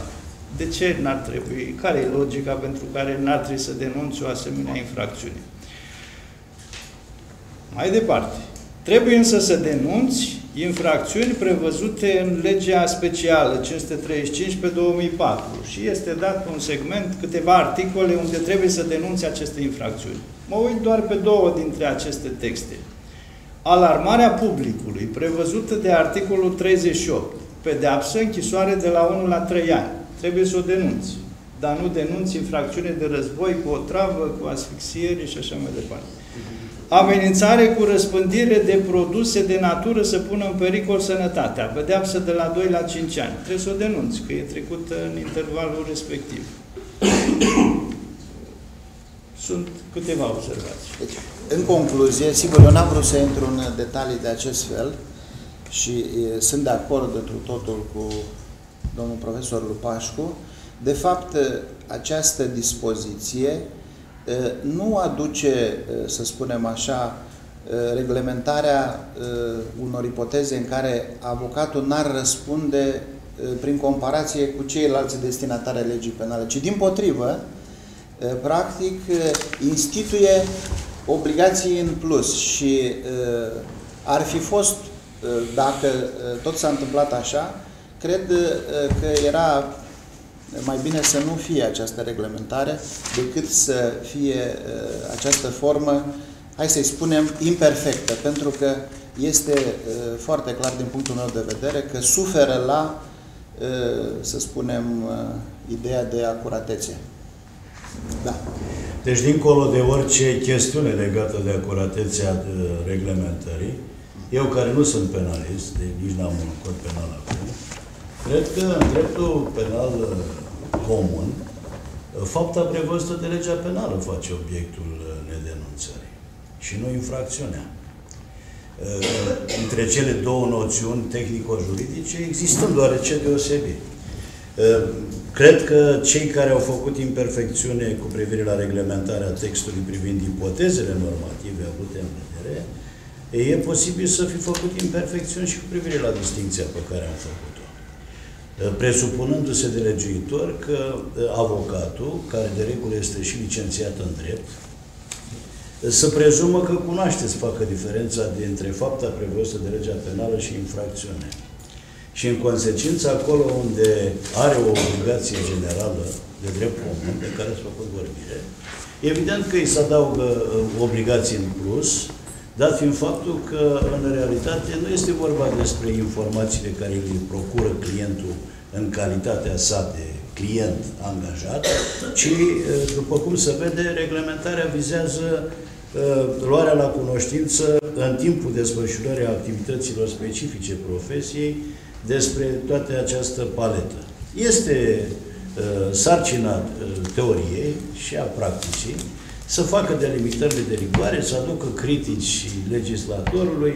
Nu este un text care este propus de organele profesiei, fiind notoriu faptul că la ceea ce s-a propus din profesie ați avut contribuție directă și personală. La ceea ce nu s-a propus din profesie, n-ați mai avut contribuție directă și personală. Când au început judecătorii și procurorii să strige și nu o spun eu, o spun materialele afișate pe site-ul Camerei Deputați, că ne creăm o superimunitate, nu s-a mai băgat nimeni din punct de vedere al celor care sunt specializați în drept penal și procedură penală să apere legislația privind profesia de avocat. E de regulă, fiecare s-a uh, ocrotit și bine a făcut că s-a ocrotit, dar uite că s-a ajuns unde s-a ajuns. Cu privire la chestiunea legată de înscrisuri 35 aliniatul 1 indice 1, acesta cu privire cu exceptarea de la măsura ridicării și a confiscării, el nu poate fi privit izolat și bine ați spus, pentru că vechiul text, articolul 35, aliniatul 1, încă în vigoare, nemodificat, prevede dreptul de a se ridica orice fel de înscrisuri dintr-un cabinet de avocat sau de la domiciliul unui avocat, inclusiv dintre cele care se află în posesia în geanta lui, cu care merge la proces sau se întoarce de la proces, după cum bine știți, și după cum practica uh, a demonstrat că uh, în lipsa unor asemenea înscrisuri măcar, se lua geanta cu totul. Uh, sigur, nu la modul în care se face publicitatea de rigoare la asemenea acte, pentru că de regulă avocații sunt uh, discreți și nu fac uh, vorbire publică despre astfel de situații. Pentru că de fiecare dată, fum fără foc nu iese și se exclude situația în care avocatul însuși este implicat în activități infracționale care pot duce la confecționarea unor astfel de înscrisuri. Pentru că ceea ce este fraudă, e fraudă. Nu poate fi ocrotit nici măcar în folosul clientului, mai ales dacă concursul avocatului este unul dintre acelea care se dovedește a fi uh, activ. Uh, nu știu cât uh, progres s-a realizat din punct de vedere al protecției reale a celui care apelează la serviciile avocatului și nu știu cu cât a sporit încrederea în avocatul despre care uh, să știe că nu este denunțător de profesie. Pentru că ceea ce s-a dorit cu toată intenția a fost ca avocatul să nu aibă profilul de denunțător al propriului client. Situație care este tot mai frecventă și în legătură cu care, uh, practic, se construiește mitul superimunității. Nu. Avocatul trebuie să desfidă denunțul propriului său client. Cu excepția situației în care, uh, din nefericire, ajunge să fie pus pe același tabăr cu clientul când încalcă el însuși regulile legale și se protejează și pe sine, așa cum își protejează și propriul client dacă este complice, cu autor sau favorizator sau tăiuitor, în condițiile în care legea penală definește, la modul în care definește în prezent termenii și îl fac încă vulnerabil pe avocat. De atât, din punctul ăsta de vedere, socotesc că este încă sarcina, mai ales a teoreticienilor, să clarifice astfel de noțiuni, așa cum a început alineoarea domnul avocatul Pașcu, și chiar să critice reglementarea când este cazul, pentru că, în realitate, într-adevăr, ce este petec, e petec. Așa e.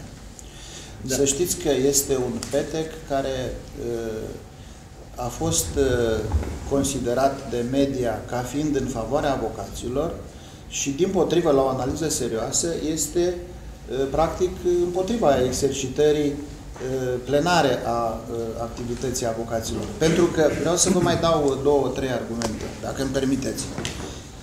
Uh, dacă articolul 46, alineatul 4, indice 3, ar fi sunat altfel, de exemplu, avocatul nu răspunde penal dacă nu denunță orice faptă prevăzută de legea penală despre care ia cunoștință în exercitarea profesiei.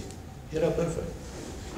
Pentru că prin, prin excepțiile respective, practic, în sarcina avocatului, planează o suspiciune că, la un moment dat, un client care citește textul poate să spună, păi, eu mă duc să-l întreb pe avocat despre ucidere din culpă sau despre omor. Păi nu mă duc, nu-i spun avocatului, dacă mă denunță, că uite, legea îi permite să mă denunțe. N-are voie. E propriu să obligă.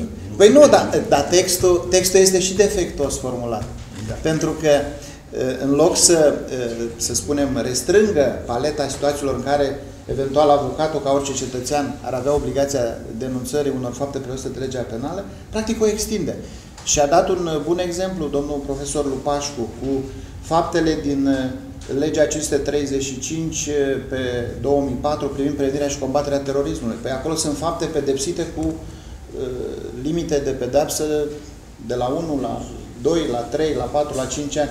Adică discutăm totuși despre fapte de mică gravitate. De ce să aibă o astfel de obligație?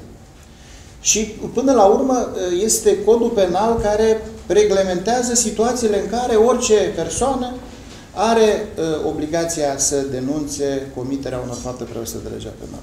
Cred că uh, acest text ori trebuie reformulat pe aici pe acolo prin părțile esențiale, cum spunea Caragiale, ori trebuie abrogat. Pentru că în loc să ne aducă servicii așa cum s-a susținut, din potrivă, el va uh, crea anumite, uh, să spunem așa, discuții în practica judiciară și n-ar fi o problemă că din punct de vedere teoretic, haideți să spunem că se poate contura o teorie, dar ne izbim de practica unor organe judiciare care nu întotdeauna sunt afabile cu exercitarea dreptului la apărare. Și atunci poate constitui un motiv de, să spunem, afectare a exercitării profesiei de avocat. Textul mai poate fi... Iertați-mă, iertați-mă. Poftiți. Voiam doar să semnalez, știu că am mai făcut obiectul conferințelor organizate de Varo, relația dintre această dispoziție, nedenunțarea, și textul din legea 656 pe 2002 cu spălarea banilor. Da. Practic, acolo e un fel de denunț special. Adică ai suspiciuni că acel client uh, spală bani, trebuie să faci comunicare la Oficiul Național pentru combaterea, prevenirea și combaterea spălării banilor. Rămâne deschisă discuția dacă, având acest text cu nedenunțarea, nu cumva ar trebui intervenit și în acea lege.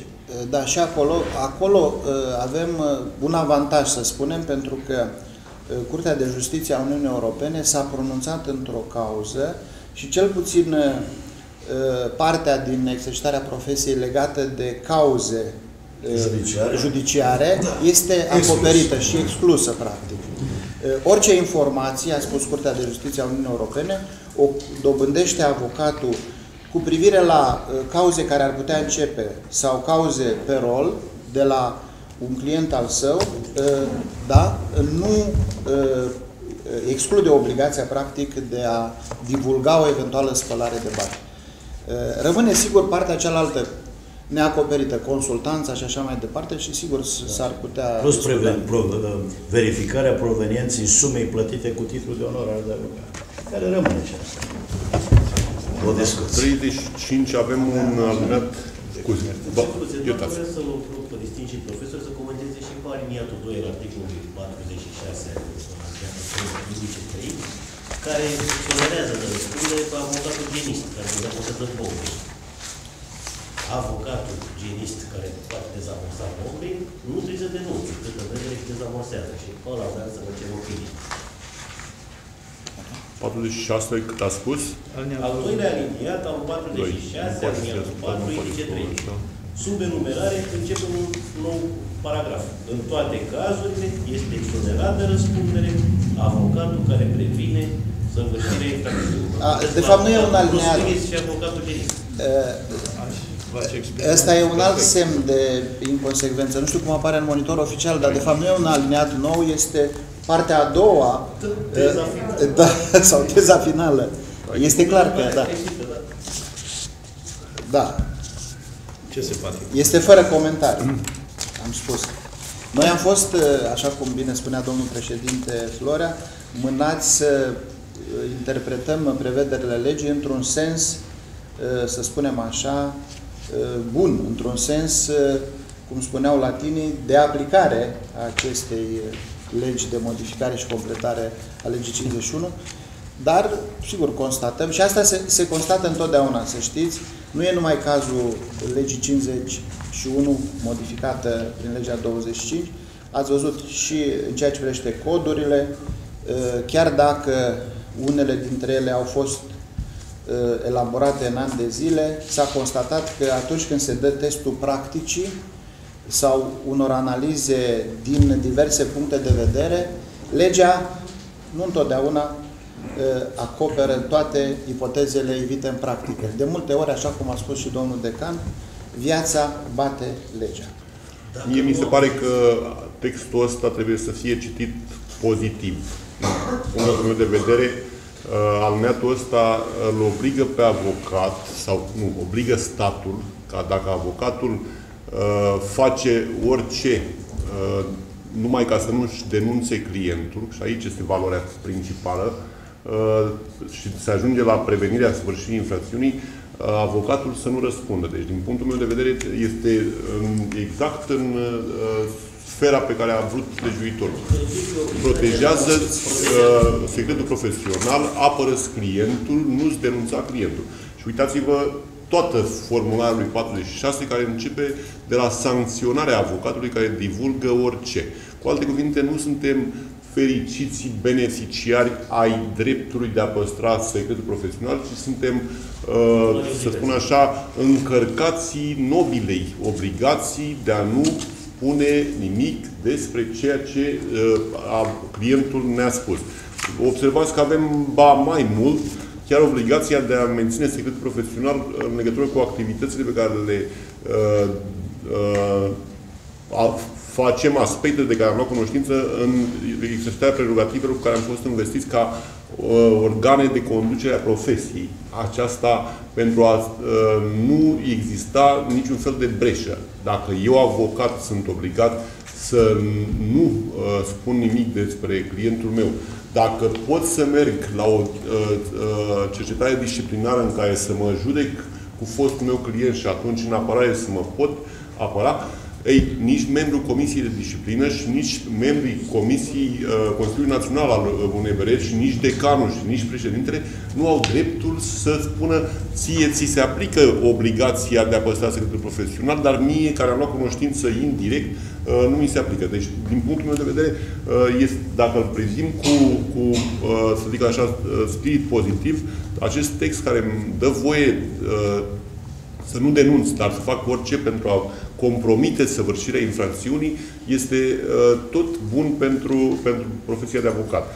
Dacă îmi dați voie, tot, tot așa, subiect de, de dezbatere, dacă ați, ați observat la articolul 40 și 35, alineat uh, 3, uh, raportul dintre avocat și persoana care, pe care o asistă sau o reprezintă nu poate fi, forma obiectul supravegherii tehnice decât dacă există date. Ei, și aici, dacă îmi permiteți, o să vă întreb, ca uh, penaliști uh, ce înseamnă date. Cine credeți că va evalua uh, uh, mai larg sau mai restrâns cuvântul de date că el săvârșește sau că pregătește. Pregătește înseamnă și intenționează, înseamnă și își dorește, înseamnă și visează uh, că să, să săvârșească o infracțiune. Adică cât de, cât de uh, strictă trebuie să fie citirea acestui articol. Dacă există date că el săvârșește sau pregătește. Pregătește înseamnă, uh, cum vă spuneam, că își imaginează sau pregătește înseamnă un act material concret. Eu cred că cea mai bună întrebare este cu ce se deosebește acest text Față de 139. de textul de la 139 din Codul de Procedură Penală. Are o singură deosebire. Pentru că restul este o chestiune de practică și teorie pe care ați dezvoltat-o deja în scris. El se deosebește cu ceva sau nu? Este E o singură deosebire. E, Vestea e, proastă este că e, deosebirea nu e foarte importantă, dar există și trebuie să o consemnăm. E pozitivă, e, să spunem așa. Vestea bună este că e, nu avem e, o situație ca la textul pe care l-am analizat anterior. Este un progres, putem spune, e, articolul 46 35, pardon, aliniatul ultim, Uh, pentru că la final textul îl obligă pe judecător atunci când uh, raporturile dintre avocat și client au uh, format obiect al unei supravegheri tehnice să îi aducă la cunoștința avocatului că a fost subiectul unui astfel, unei astfel de supravegheri și că probele au fost distruse. În codul de procedură penală, practic, judecătorul avea facultatea de a-l înștiința pe avocat. Spunea în partea finală textul anterior, poate să-l anunțe. Corect. Acum, practic, judecătorul este obligat.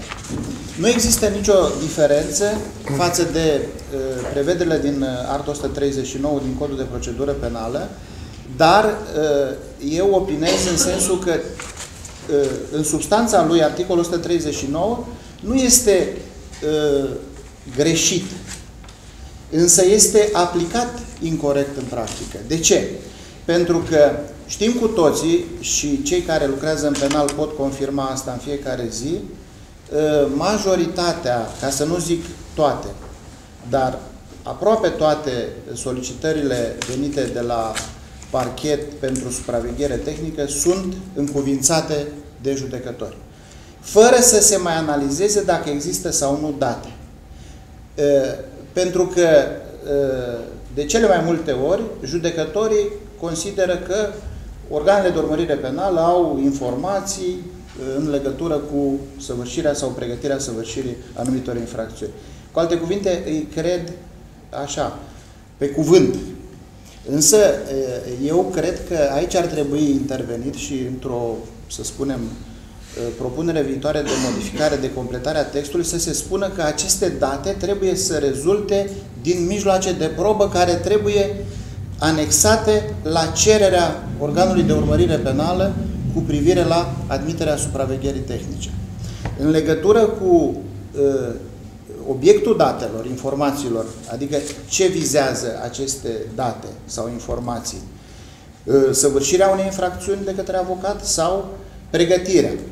Evident că atunci când discutăm de săvârșirea unei infracțiuni, înseamnă că ar trebui să fie uh, informații că avocatul a comis fapte prevăzute de legea penală în formă consumată, deja, iar când discutăm de pregătire, nu e suficientă nuda cogitațiu, adică simpla gândire a săvârșirii unei fapte prevăzute de legea penală, ar trebui să avem, zic eu, acte de pregătire în sensul doctrinei și practicii în materie penală, adică pregătirea condițiilor favorabile pentru comiterea unei infracțiuni.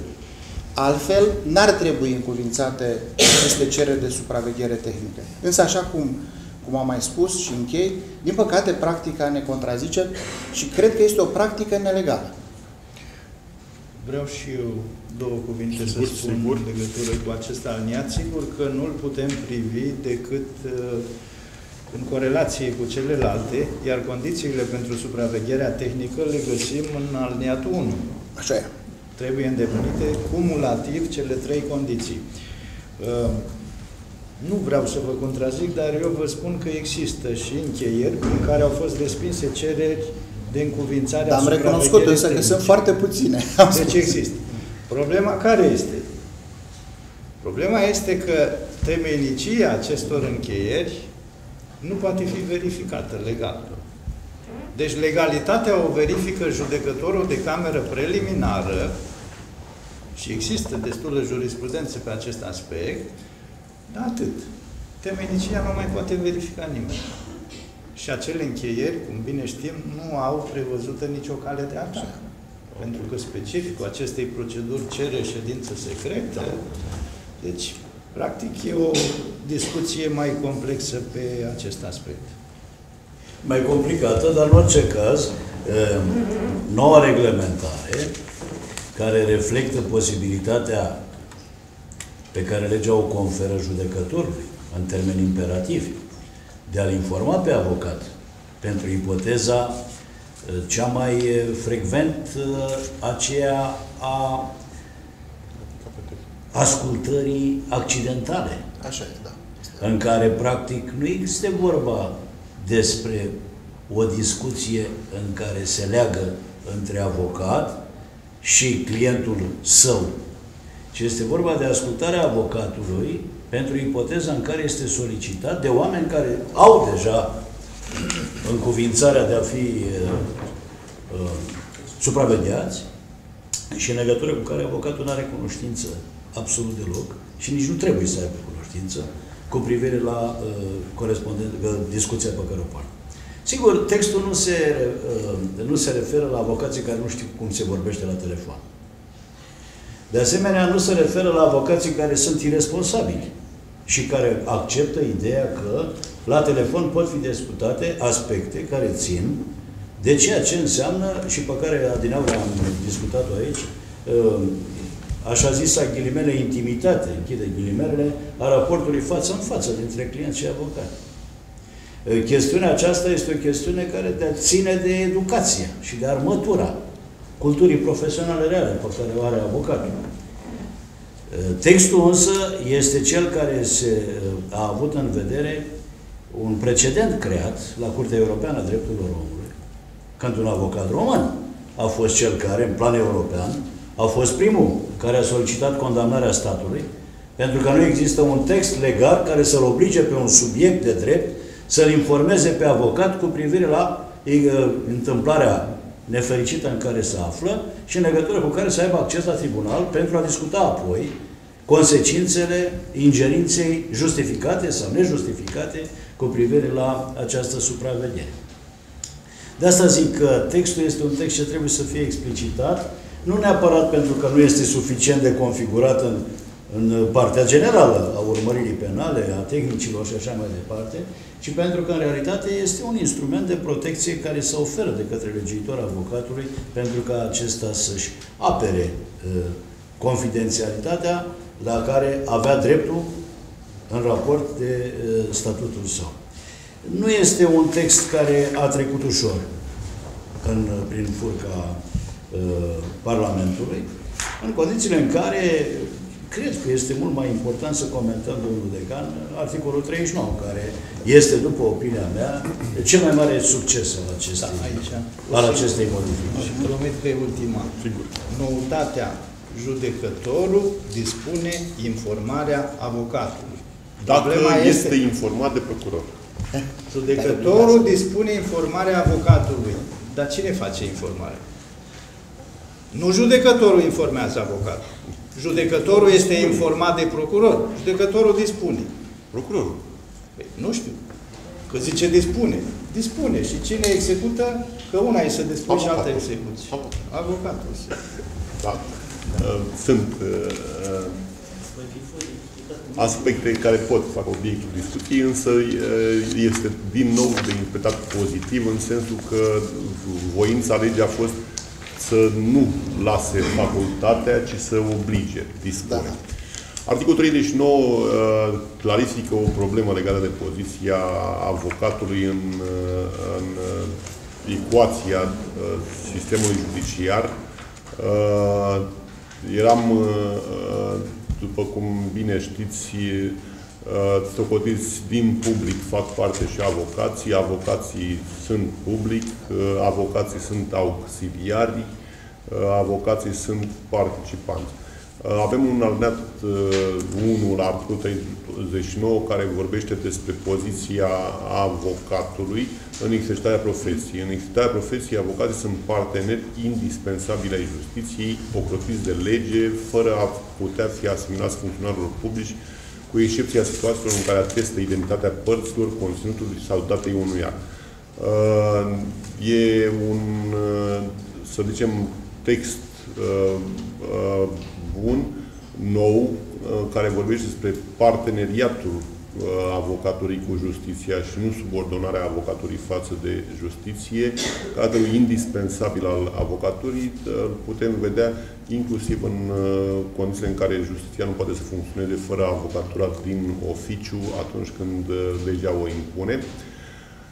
Uh, independența și ocrotirea de lege au fost, uh, să zic așa, uh, uh, intens uh, uh, dezbătute, pentru că uh, guvernul, punctul de vedere al uh, premierului României la acea vreme, era în sensul că, în măsura în care avocații doresc să fie uh, partenerii justiției și să beneficieze de o astfel de ocrotire, ei trebuie să fie funcționari. Ceea ce uh, punea din nou uh, foarte serios tot sistemul de valori pe care l-am, l-am uh, gândit din 1990, când avocații nu mai erau asimilați nici măcar, să spun, cu titlul de excepție funcționarilor, cu atât mai mult funcționarilor publici. S-a ajuns la această formulă în care avem răspunderea când atestăm un act că putem fi obligați să răspundem penal Uh, pentru săvârșirea infracțiunii de fals intelectual, în restul uh, activităților noastre fiind parteneri ai justiției.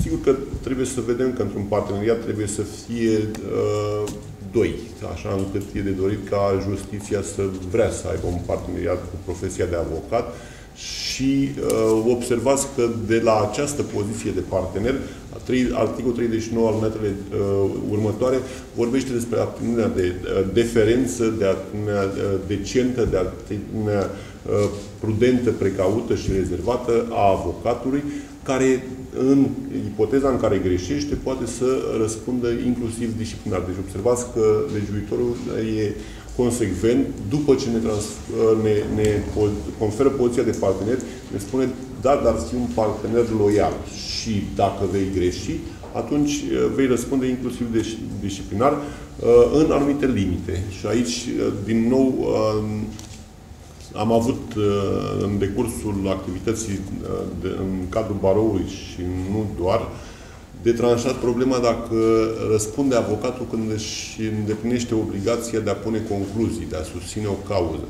Și au fost oameni din afara sistemului profesiei de avocat care au spus că da, dacă avocatul are o putere de convingere deosebită și chiar dacă n-a observat că acea putere de convingere cu ocazia concluziilor uh, a îmbogățit uh, pe clientul său, a devenit complice la uh, săvârșirea unei infracțiuni de către client.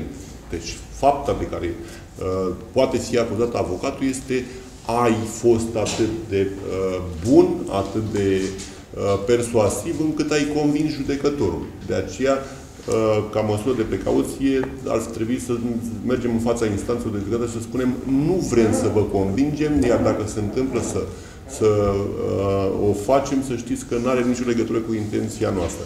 Ei, uh, aici, uh, legea 51 pe 95, uh, modificată, uh, are niște parametri buni și se spune când răspunde avocatul și când nu răspunde. Cu alte cuvinte, sunt uh, limitele atribuțiilor sale.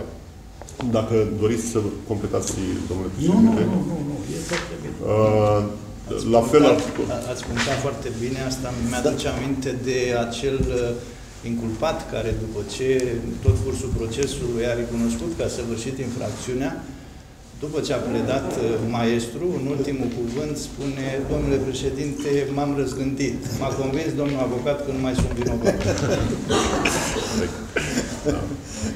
Da, da, apropo de asta, uh, vă aduceți aminte speța aceea cu uh, avocatul care nu prea avea la îndemână argumente și la un moment dat i-a făcut o apărare în circunstanțiere și a susținut că este orfan și să aibă în vedere faptul că uh, are această situație specială, dar era acuzat de uciderea propriilor părinți.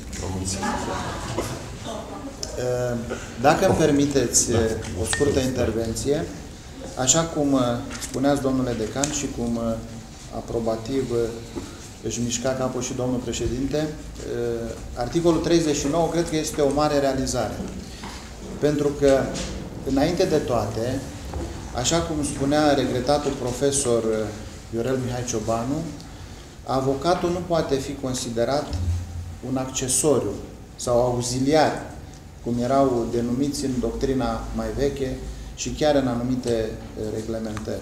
Avocatul este într-adevăr un partener indispensabil al justiției, pentru că fără el, chiar dacă de către unii este considerat un rău, e un rău necesar. Fără el nu se poate înfăptui actul de justiție. Au fost experimente în decursul istoriei, în Franța în 1789, în Prusia, și s-a constatat, au desfințat profesia de avocat. S-a constatat că nu se poate. Practic, statul de drept, fără specialiști în cunoașterea legii care să fie independenți totodată față de stat, nu există. E un stat de drept nedrept. Nu se poate altfel. Și articolul 39 arată și care sunt obligațiile importante ale avocatului. Se spune în alineatul 2 că avocatul este obligat să respecte solemnitatea ședinței. Să nu folosească cuvinte sau expresii de natură aduce atingerii demnității judecătorului și celorlalți participanți. Așa este.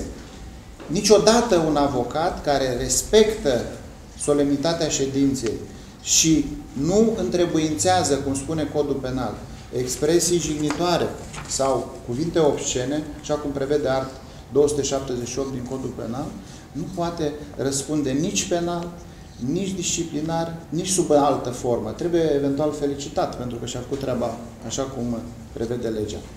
Dar în uh, aliniatul al cincilea, uh, cred că se fac câteva precizări foarte, foarte importante. Mi se pare superimunitatea avocatului. Așa este, despre care presa n-a spus nimic. Da. Super, superimunitatea avocatului, așa cum spune domnul președinte, este reglementată în articolul 5. Alineatul. Alineatul 5 al articolului 39. Practic, legea spune că nu constituie abatere disciplinară și nu poate atrage orice altă formă de răspundere juridică, ă, opiniile juridice exprimate de avocat, exercitarea drepturilor, a obligațiilor sau folosirea oricăror mijloace prevăzute de lege pentru apărare. Și este foarte normal să fie așa. Ă, această dispoziție ă, nu se regăsea în reglementarea anterioară și cred că este așa cum am spus uh, puțin mai devreme, cel mai mare câștig al acestor Cel mai mare câștig cu condiția următoare. Cei care aplică legea să cunoască legea privind profesia de avocat. Pentru că, în realitate, simpla cunoaștere a drepturilor și obligațiilor procesuale, reglementate de legiuitor prin ipoteză pentru părți și, în mod excepțional, pentru cei care participă la desfășurarea activităților de realizare a urmăririi penale sau a judecății sau a procesului civil în general, sunt obligații care sunt prevăzute pentru oricine are calitatea de părți, potrivit legii. Există însă legea privind profesia de avocat, care creează un ansamblu de drepturi și obligații specifice celui care are calitatea de avocat. Astfel de drepturi și asemenea obligații sunt îndeplinite de avocat, sigur, în limitele și cu disciplina impusă de dispozițiile procesuale, dar printr-un ansamblu de drepturi și obligații care constituie o veritabilă instituție juridică, legal, reglementată în mod special, în legătură cu care, din nefericire, aici stă toată problema esențială cu privire la uh, aliniatul 1 din articolul 39, pentru că parteneriatul indispensabil justiției nu este legat exclusiv de exercitarea calificată a dreptului la apărare de către părți prin avocat, ci în mod deosebit prin garanțiile pe care avocatul, prin lege, le are, tocmai pentru că exercitarea calificată a dreptului la apărare să fie una dintre aceia care să aibă eficiența corespunzătoare în interesul celui apărat sau pentru ceea ce să scrie aici, realizarea efectivă a apărării libertăților, drepturilor și intereselor legitime, ă, chestiune care nu este o chestiune de pur și simplu de uh, sintagmă fără acoperire în uh, legislația specială, legislația specială având capitole specifice intitulate drepturile avocatului, îndatoririle avocatului, în legătură cu care exercitarea lor ar trebui să fie și cunoscută și realizată efectiv cu garanțiile prevăzute de lege. De asta spun că articolul 39 este esența unui salt calitativ. Unui salt calitativ care semnifică în realitate trecerea de la calitatea de apărător la calitatea de avocat, trecerea de la limbajul acesta uzual pe care îl învață omul potrivit legii de organizare judiciară și pe care în mod public îl folosește cu ostentație, în virtutea inerției, evident, în condițiile în care noile coduri nu mai folosesc noțiunea de apărător decât în modificările aduse la cod, când, din păcate, se reintroduce pe ușa ascunsă a ordonanțelor de urgență, iar noțiunea de apărător în legislația penală. Dacă greșesc, greșesc, dar eu nu sunt specialist în drept penal. Cu permisiunea dumneavoastră, o noutate din perspectiva obligației avocatului de a nu uh, depăși limitele uh, asistării clientului său, articolul 46 alineat 1, indice 1, orice contact dintre avocat și o persoană cu interese contrare în cauză în care avocatul este angajat, reprezentantul acesteia sau un terț, care se dovedește a fi interesat de soluția care se va da în cauză, nu poate fi realizat decât cu acordul expres prealabil al clientului, în prezența clientului sau a persoanei desemnate de aceasta. Sigur, se pune întrebarea dacă asta ne afectează și nouă raporturile colegiale. Dacă sunt adversar cu domnul Pașcu, um, aici am posibilitatea să mă mai sărut cu domnia sa să, sau să schimbăm o părere, trebuie să cerem acordul clientului? Răspunsul este nu. Deci uh, textul are în vedere exclusiv ipoteza în care uh, este fermă Uh, discuția despre acea cauză. Și când spunem cauză, ne referim și la litigiu, și la proiect de consultanță, și la orice fel de altă activitate. Deci nu a fost intenția legii de a de a uh, crea bariere între uh, membrii profesiei, ci de a uh, da niște repere foarte clare între ce se poate și ce nu se poate. Sigur că aici vorbim despre în prezența clientului sau a persoanei desemnate de acestea, nu excludem însă ca, dacă vrea clientul, să renunțe la beneficiul prezenței, dacă e o problemă de încredere a sa. Trebuie însă să existe dovezi din partea Uh, uh, avocatului că uh, având dreptul de a decide dacă să-și desemneze un reprezentant sau să fie prezent la întâlnirea cu partea adversă, clientul a decis și trebuie categoric să-și asume avocatul, cunoscând clientul, cunoscându-se, dacă să aibă o întâlnire cu sau fără uh, client.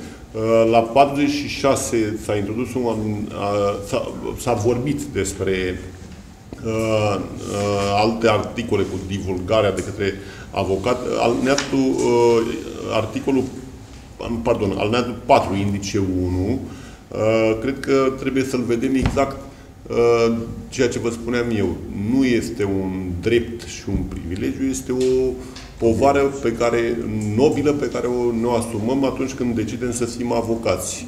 Divulgarea de către avocat fără drept a unor informații confidențiale reprezintă infracțiune și se pedepsește cu închisoare de la 1 la 5 ani.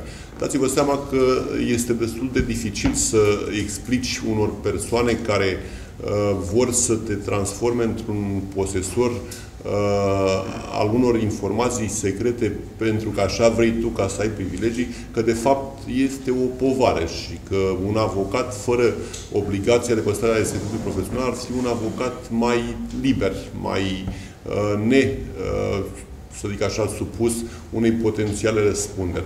Dar face parte din uh, fișa postului, din exercițiul profesiei. Dacă ești avocat, trebuie să știi că ceea ce ți-a spus clientul nu poate fi divulgat și dacă trebuie să fie divulgat, iată, asta era interpretarea lui 46 alineat final, dacă poți să eviți inclusiv divulgarea și denunțul în cazurile în care legea te obligă să o faci și să ajungi la același, aceeași situație de prevenire a faptei, fă-o că nu o să fii, răspunzi.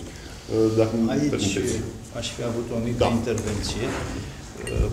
Ați semnalat foarte bine diferența. Eu mă întreb însă dacă nu este o reglementare prea dură.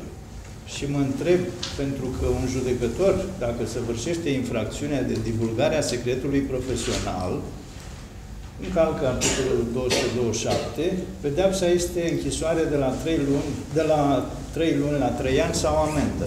La avocat este de la 1 an la 5 ani. În al doilea rând, în cazul judecătorului, acțiunea penală se pune în mișcare la plângere prealabilă. Aici nu. Sezarea este în oficiu. În al treilea rând, dacă acel judecător a comis fapta, prejudiciul trebuie să fie dovedit. Aici nici măcar nu trebuie dovedit un prejudiciu. Mă întreb ce anume, care rațiuni justifică această severitate deosebită în uh, instituirea acestei infracțiuni speciale în cazul avocaților. Poate că a existat în expunerea de motive și nu am eu cunoștință. Deci nu a existat nicio expunere de motive. A existat un mare semn de întrebare. Care a fost rațiunea pentru care legiuitorul a introdus în codul penal infracțiunea de asistare sau reprezentare neloială? Când în dreptul penal român, niciodată, dar niciodată, de la 1938 încoace, despre o asemenea infracțiune nu s-a vorbit. Asistarea sau reprezentarea neloială este una dintre acelea în legătură cu care 46 aliniatul 1 indice 1 a fost nevoie să fie făcut. Pentru ca să putem să prevenim orice fel de interpretare forțată a noțiunilor tehnico-juridice pe care le folosește legiuitorul într-o infracțiune introdusă parcă cu țintă specială, în condițiile în care, de regulă, reglementarea unei infracțiuni este rezultatul unui fenomen general care necesită a fi reprimat în condițiile în care viața demonstrează că faptele s-au revoltat, iar dreptul e chemat să vină să aplice sancțiuni. În ce privește 46 aliniat 4 indice 1, reglementarea de drept comun pe care o avea până în prezent divulgarea secretului profesional viza ce? Informații relative la viața privată. În ipoteza în care activitatea profesională a avocaților s-a dezvoltat în mod deosebit și în legătură cu activități care se desfășoară în favoarea administrației publice, centrale sau locale, unde confidențialitatea se confruntă cu fenomenul transparenței în administrația publică.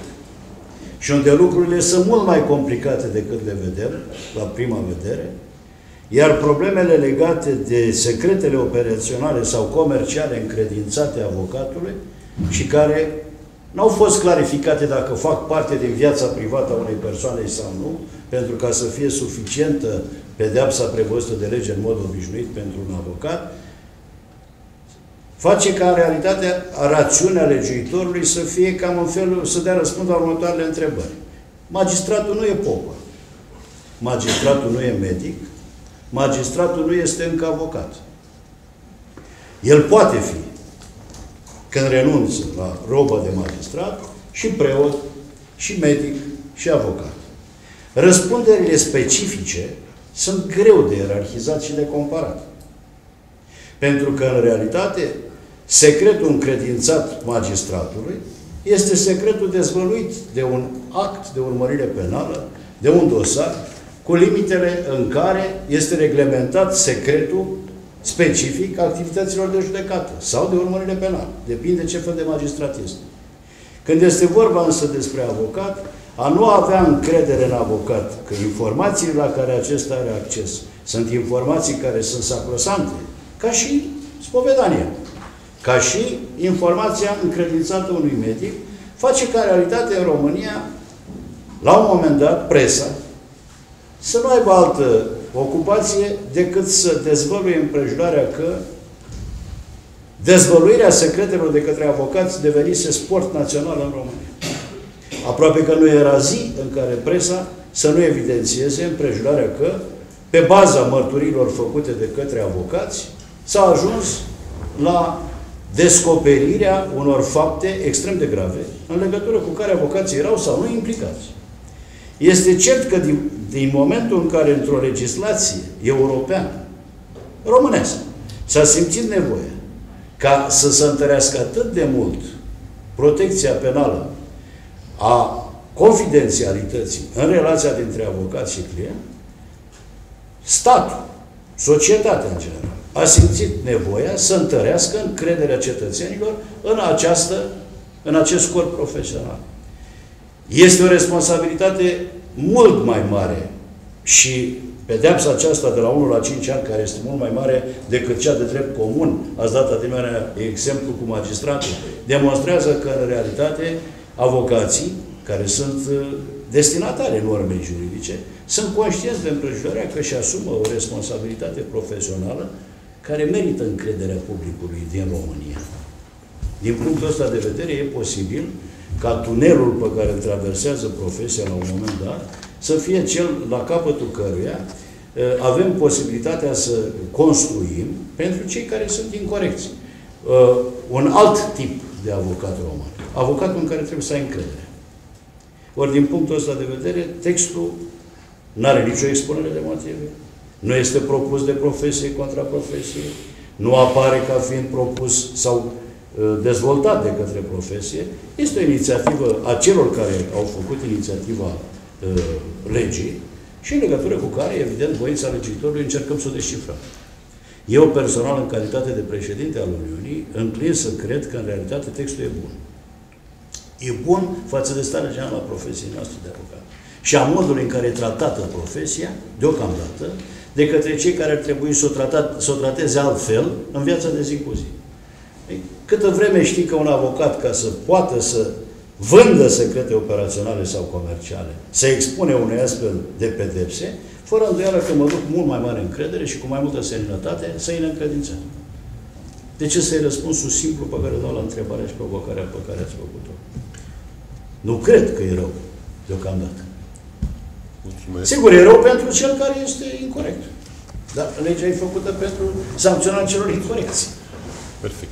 Uh, La articolul 48, o importantă schimbare în uh, filozofia legii uh, profesiei de avocat este permisă comunicarea publică sau publicitate a avocatului sau a formei de organizare a profesiei cu respectarea unor standarde, însă standarde care țin de uh, independență, demnitate, integritate profesională, secret profesional, obiectivitate și să corespundă adevărului. Uh, statutul, legislația secundară este cea care uh, dă limitele exercitării uh, uh, publicității formelor de exercitare a profesiei în scopul uh, dobândirii, atragerii de clientelă, deci cu alte cuvinte nu este prohibită, totul este să fie făcută în anumite limite și, după cum știți, avem un statut care e destul de uh,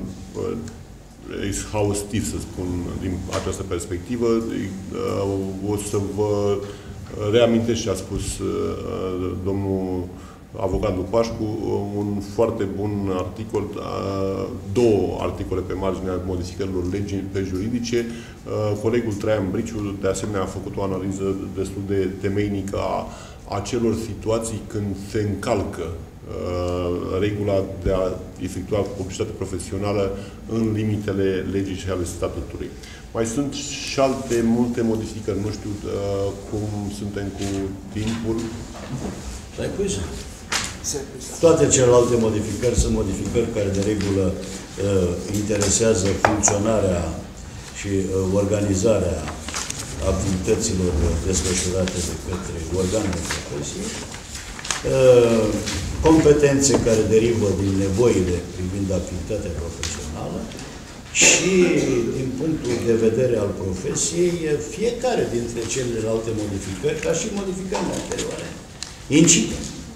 Incită profesia la dezbateri, la discuții, la repugnarea legii modificate, nu vă ascund faptul că de când s-a inițiat proiectul și așa a apărut lupta împotriva proiectului, există foarte mulți oameni care, scoțând în față bastonul de mareșal și încadrându-se pe turnanta electorală, solicită o lege nouă privind profesia de avocat, neapărat modernă, în condițiile în care, evident, o astfel de legislație, ca și aceasta, inițiată acum 2 ani de zile, apare o perioadă în care multe lucruri sunt depășite.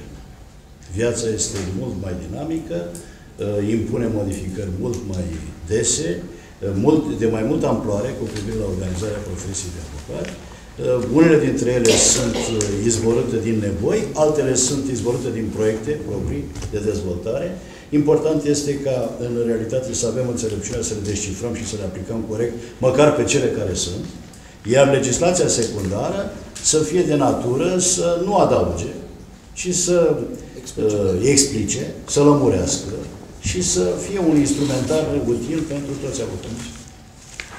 Da, O singură remarcă mai aveam, uh, probabil că din aceleași rațiuni pe care le-a expus domnul președinte, constat o oarecare diferență în defavoarea avocatului și la reglementarea mecanismului disciplinar.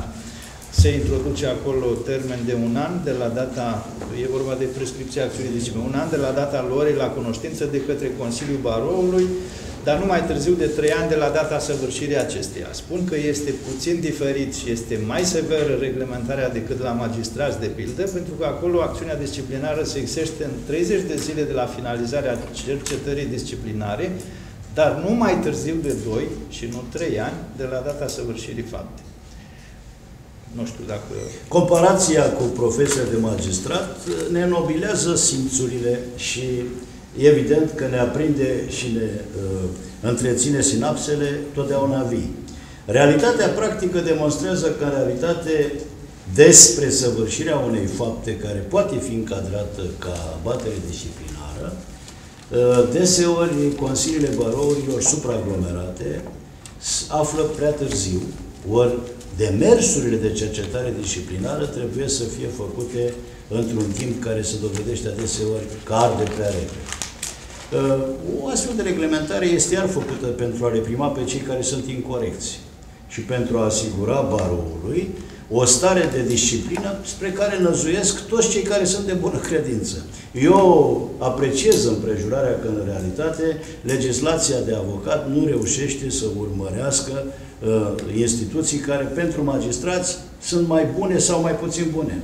Însă să nu putem compara disciplina care există în ceea ce privește verificarea aspectelor ce țin de, de de starea disciplinară a profesiei de magistrat în condițiile de organizare statală care implică responsabilități de alt gen într-o profesie liberală, educația avocatului fiind mai degrabă subordonată conștiinței și crezului său profesional, care, adeseori, este unul dintre acelea clădit pe o cultură juridică diferită de la unul la altul, și după credințe care sunt în marea majoritate lor diferite de la unul la altul. Eu cred că soluția este bună, instrumentul de lucru pentru comisiile de disciplină este mult mai bun, în condițiile în care, sigur, orice fel de gravitate a reglementărilor pentru un eh, corp de avocați care doresc reglementări cât mai democratice, mai libere, mai independente și așa mai departe,